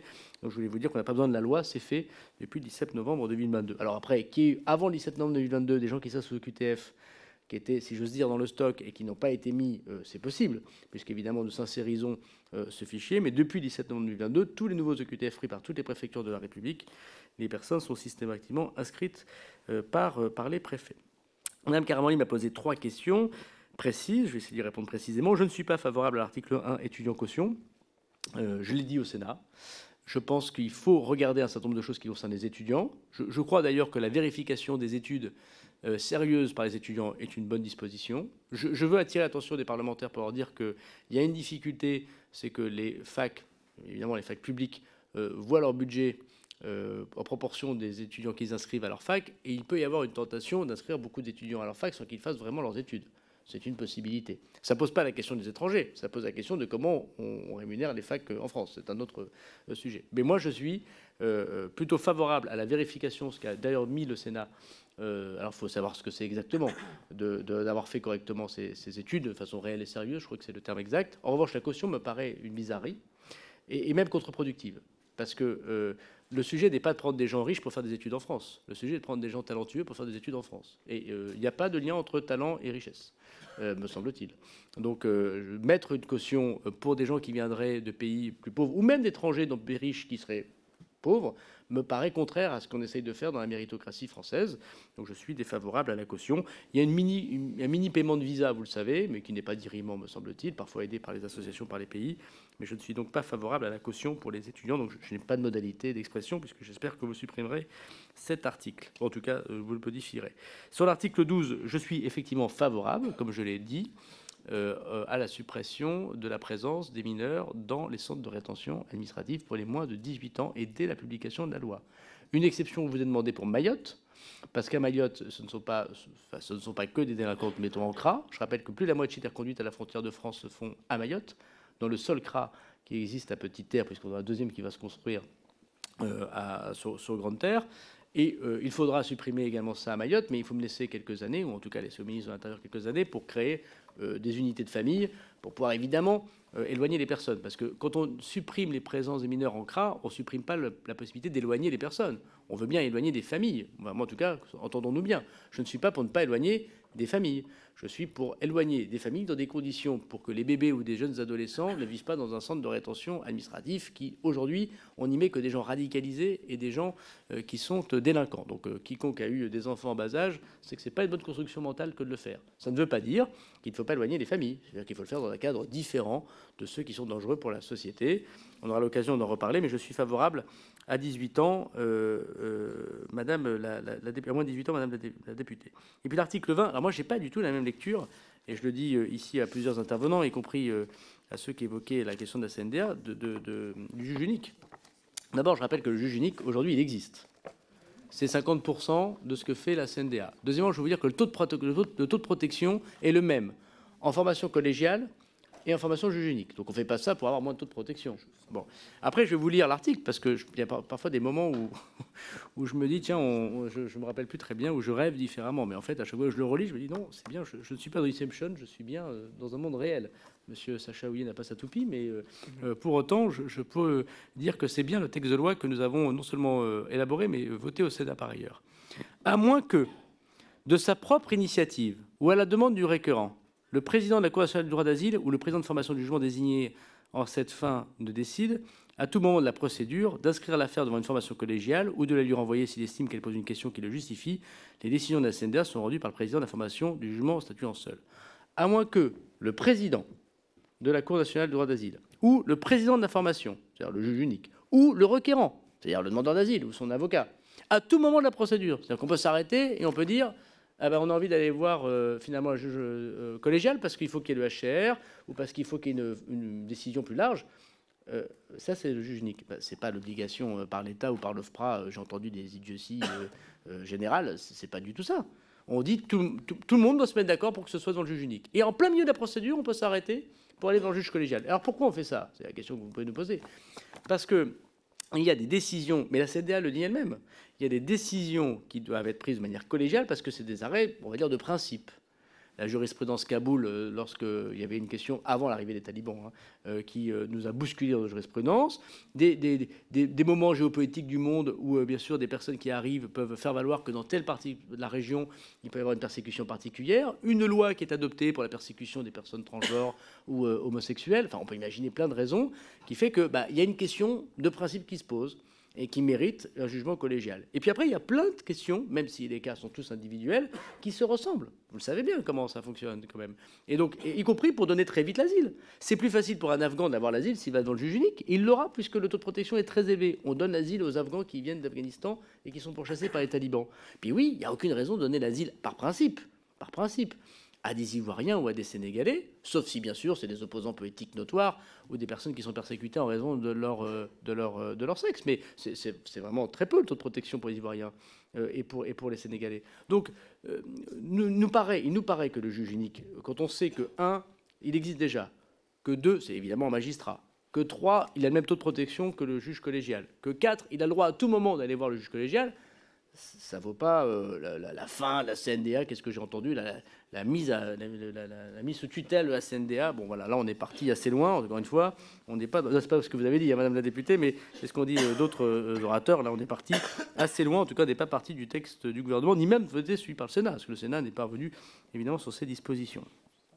Alors moi, je, veux dire l'orateur euh, qui, est parti euh, de la France insoumise, oui, il n'est plus là, mais de là où il est, il doit nous, entendre. Euh, sur la question de nous faisons monter les extrêmes, bah, je pense que c'est plutôt, lui, me semble-t-il, par sa posture idéologique, qui soit fait monter les extrêmes, notamment l'extrême droite, puisqu'il fait lui-même partie d'un extrême, donc c'est bien, il se, il se, rejoint dans les outrances, mais soit surtout, et je pense que ça c'est inquiétant, ne protège pas les étrangers eux-mêmes. Moi, je, constate que les étrangers sont les premiers à demander des mesures de fermeté contre ceux qui se comportent mal. Parce que c'est les gens qui se comportent mal qui donnent une mauvaise image des autres, et, c'est une des causes de la création euh, du racisme et de la discrimination. Et moi, je n'ai jamais vu de gens aussi fermes que les personnes qui sont de population étrangère dans ma propre commune. Et dis d'autant plus que j'en suis euh, par deux fois euh, le descendant. Donc on n'a pas la même façon de faire. C'est pas en laissant faire des criminels et des délinquants euh, agir, qu'on va protéger et mieux faire comprendre ou accepter l'immigration dans notre pays, qui l'a déjà très largement accepté depuis extrêmement longtemps. Donc euh, je ne comprends pas ce raisonnement, sauf à, faire effectivement euh, sa minute euh, sur les réseaux sociaux, puisqu'il n'a même pas écouté la réponse que j'ai essayé de, de, lui apporter. Sur euh, je pense avoir répondu, euh, Madame Utalmer, sur l'accès euh, sur au, droit. Sur Madame euh, Youssoufa, elle a donc compris que comme je ne veux pas parler de l'AME euh, dans le texte, je ne vais pas non plus en parler pour Mayotte, mais euh, c'est un débat très intéressant qui, peut se dérouler dans d'autres discussions, puisqu'en ce moment, il paraît qu'il y a des discussions budgétaires ouvertes et nourries avec le gouvernement dans un cadre parlementaire important. Donc n'hésitons pas. Moi, je veux dire à Madame Youssoufa que je suis très favorable à la disposition qui consiste à revenir, même à accélérer euh, ce qu'avait fait votre collègue Tani sur les euh, parents. Aujourd'hui, pour être régularisé à Mayotte, il faut avoir un des deux parents qui est régulier ou français depuis trois mois avant la naissance de l'enfant sur le territoire national à Mayotte. Je suis favorable à ce que nous travaillions collectivement. Ce n'est pas dans le texte de loi aujourd'hui, mais je savais que j'allais le devant vous pour que les deux parents doivent être réguliers, pas un seul, mais les deux, et depuis plus de neuf mois, pourquoi pas un an sur le territoire national. Un. Deux, je suis favorable, M. Cabardine, euh, à la disposition qui est de dire euh, on ne peut pas régulariser à Mayotte. J'ai bien entendu que la question était Mayotte. J'ai bien compris que ce n'était pas euh, national. À Mayotte, de ne pas régulariser quelqu'un à Mayotte s'il est irrégulier en arrivant à Mayotte. Voilà. Ce qui laisse ce droit à l'étranger d'être régularisé ailleurs, en France, mais pas à Mayotte. Moi, je suis favorable à cette disposition. Et je suis, à, mesdames, monsieur le député élu à, à Mayotte, je ne suis pas de ceux qui vous disent ce ne sera pas constitutionnel. On verra bien. Voilà, on verra bien. Euh, c'est pas à moi de le dire, au juge constitutionnel de le faire. Et je veux dire ici devant vous que euh, sinon il y a la loi Mayotte qui arrive qui nous permettra de corriger si le Conseil constitutionnel nous fait des remarques. Et deuxièmement, s'il y a une réforme constitutionnelle, le président, vous avez vu, souhaite en faire une, moi je suis pour qu'il y ait des dispositions particulières à Mayotte. Parce qu'on ne peut pas gouverner Mayotte, me semble-t-il, qu'on gouverne le reste du pays. Vous avez tout à fait raison, sur le droit du sol et le droit du sang à Mayotte. Dans des conditions qui sont déjà différentes du droit commun. Voilà, et ça c'est mon avis personnel. Mais euh, je pense que qui peut plus peut le moins. Et on peut faire ces dispositions dans le texte ordinaire. On verra ce que dira le Conseil constitutionnel. Je suis tout à fait prêt euh, à, y, travailler. Euh, je crois qu'il y avait une question sur l'indépendance de l'OFPRA. Évidemment, ni l'OFPRA ni l'OFI euh, ne voient revoir leur indépendance, et encore moins la CNDA, mais bon, c'était évident. Je pense à M. Di Filippo, il va avoir répondu sur l'AME et sur les demandes. Sur les demandeurs d'asile, alors pour le Calvados, alors, je regarde exactement la question de Wistreham. Je t'avoue que je la connais moins bien que la question du Nord-Pas-de-Calais et la question des qui est à peu près similaire puisque c'est à peu près le même type de public qui veulent passer en Angleterre parce que oui, alors bon, on peut avoir envie d'aller euh, à Calais, à Boulogne-sur-Mer. Moi, j'y vais en vacances et j'ai ma maison de famille. Mais euh, et à Ouistreham, en général, euh, voilà, on y va surtout parce que c'est près de la Manche et qu'on a envie de passer la. Il se passe des choses magnifiques en Calvados, hein, euh, notamment ce département d'un premier ministre. Je n'oserais le critiquer. Euh, et, le Nord-Pas-de-Calais est une région formidable, mais c'est pas l'endroit euh, où, en général, spontanément, on a envie d'installer sa présence. Bon, et je le dis avec non mais non mais voilà, bien sûr, ben, c'est au moins, c'est réaliste. Voilà. Mais on y est bien, on y est bien. Je, suis d'accord, c'est pas assez connu. Qu'est-ce qui se passe? Ils veulent aller en Angleterre? En grande partie, ils veulent aller en Angleterre. C'est souvent des Érythréens. La difficulté, c'est que quand on demande à ces personnes de voir déposer l'asile, alors je peux comprendre qu'il y ait des moments où ils ne peuvent pas le faire. Et je pense que là, ce qu'évoque Madame la députée Tannhammer peut être utile, y compris à votre disposition, euh, Monsieur le député. Mais moi, de ce que je connais, euh, du nord de la France, de Grande-Sainte, de Calais, de Boulogne, où il y a 15 fois moins de migrants aujourd'hui qu'il y en avait il y a 10 ans, grâce à l'action du gouvernement de M. Hollande et l'action très forte de M. Cazeneuve. Moi, je pense qu'on peut ici remercier M. Cazeneuve pour l'action très forte quand vous étiez en responsabilité dans la lutte contre l'immigration irrégulière, le démantèlement euh, des, camps de migrants. Vous êtes, moins, en support, mais je pense que c'est important de le dire. C'est une action socialiste extrêmement forte et ferme contre l'immigration irrégulière qu'on essaie de, de, continuer. Il y a 15 fois moins de migrants euh, aujourd'hui. Quel est le sujet? En fait, il y a moins de 5% de ces personnes qui demandent l'asile sur le territoire de la République, à Calais, euh, à Boulogne-sur-Mer, à Grande-Sainte. Parce qu'en fait, ils veulent aller en Angleterre. Ils veulent avoir l'asile ou la protection en Angleterre. Et notre difficulté, c'est euh, comment euh, l'Angleterre, comment la Grande-Bretagne accepte de remettre ce qui arrive normalement dans n'importe quel autre pays au monde une relation d'immigration normale et d'accès légal à son pays pour pouvoir déposer des demandes d'asile. Et tant que l'Angleterre restera dans les lunes euh, du Brexit sur les questions migratoires, elle s'oblige à ne pas avoir appliqué Dublin, elle ne peut plus faire de reconduite à la frontière, et elle oblige les gens à passer, puisque désormais le tunnel est complètement euh, bloqué, par des bateaux pour aller en Grande-Bretagne. Voilà. Et elle ne voit pas qu'elle doit changer de paradigme. Alors peut-être euh, qu'elle le verra un jour, mais elle ne le voit pas pour l'instant. Donc si je peux comprendre ce sujet. Je peux aussi voir que, par exemple, dans le Nord-Pas-de-Calais, monsieur le député, encore une fois, je ne connais pas très bien la situation du Calvados pour vous répondre avec précision, mais je le ferai la prochaine fois, je, vous le promets. La difficulté, monsieur le député, c'est quoi?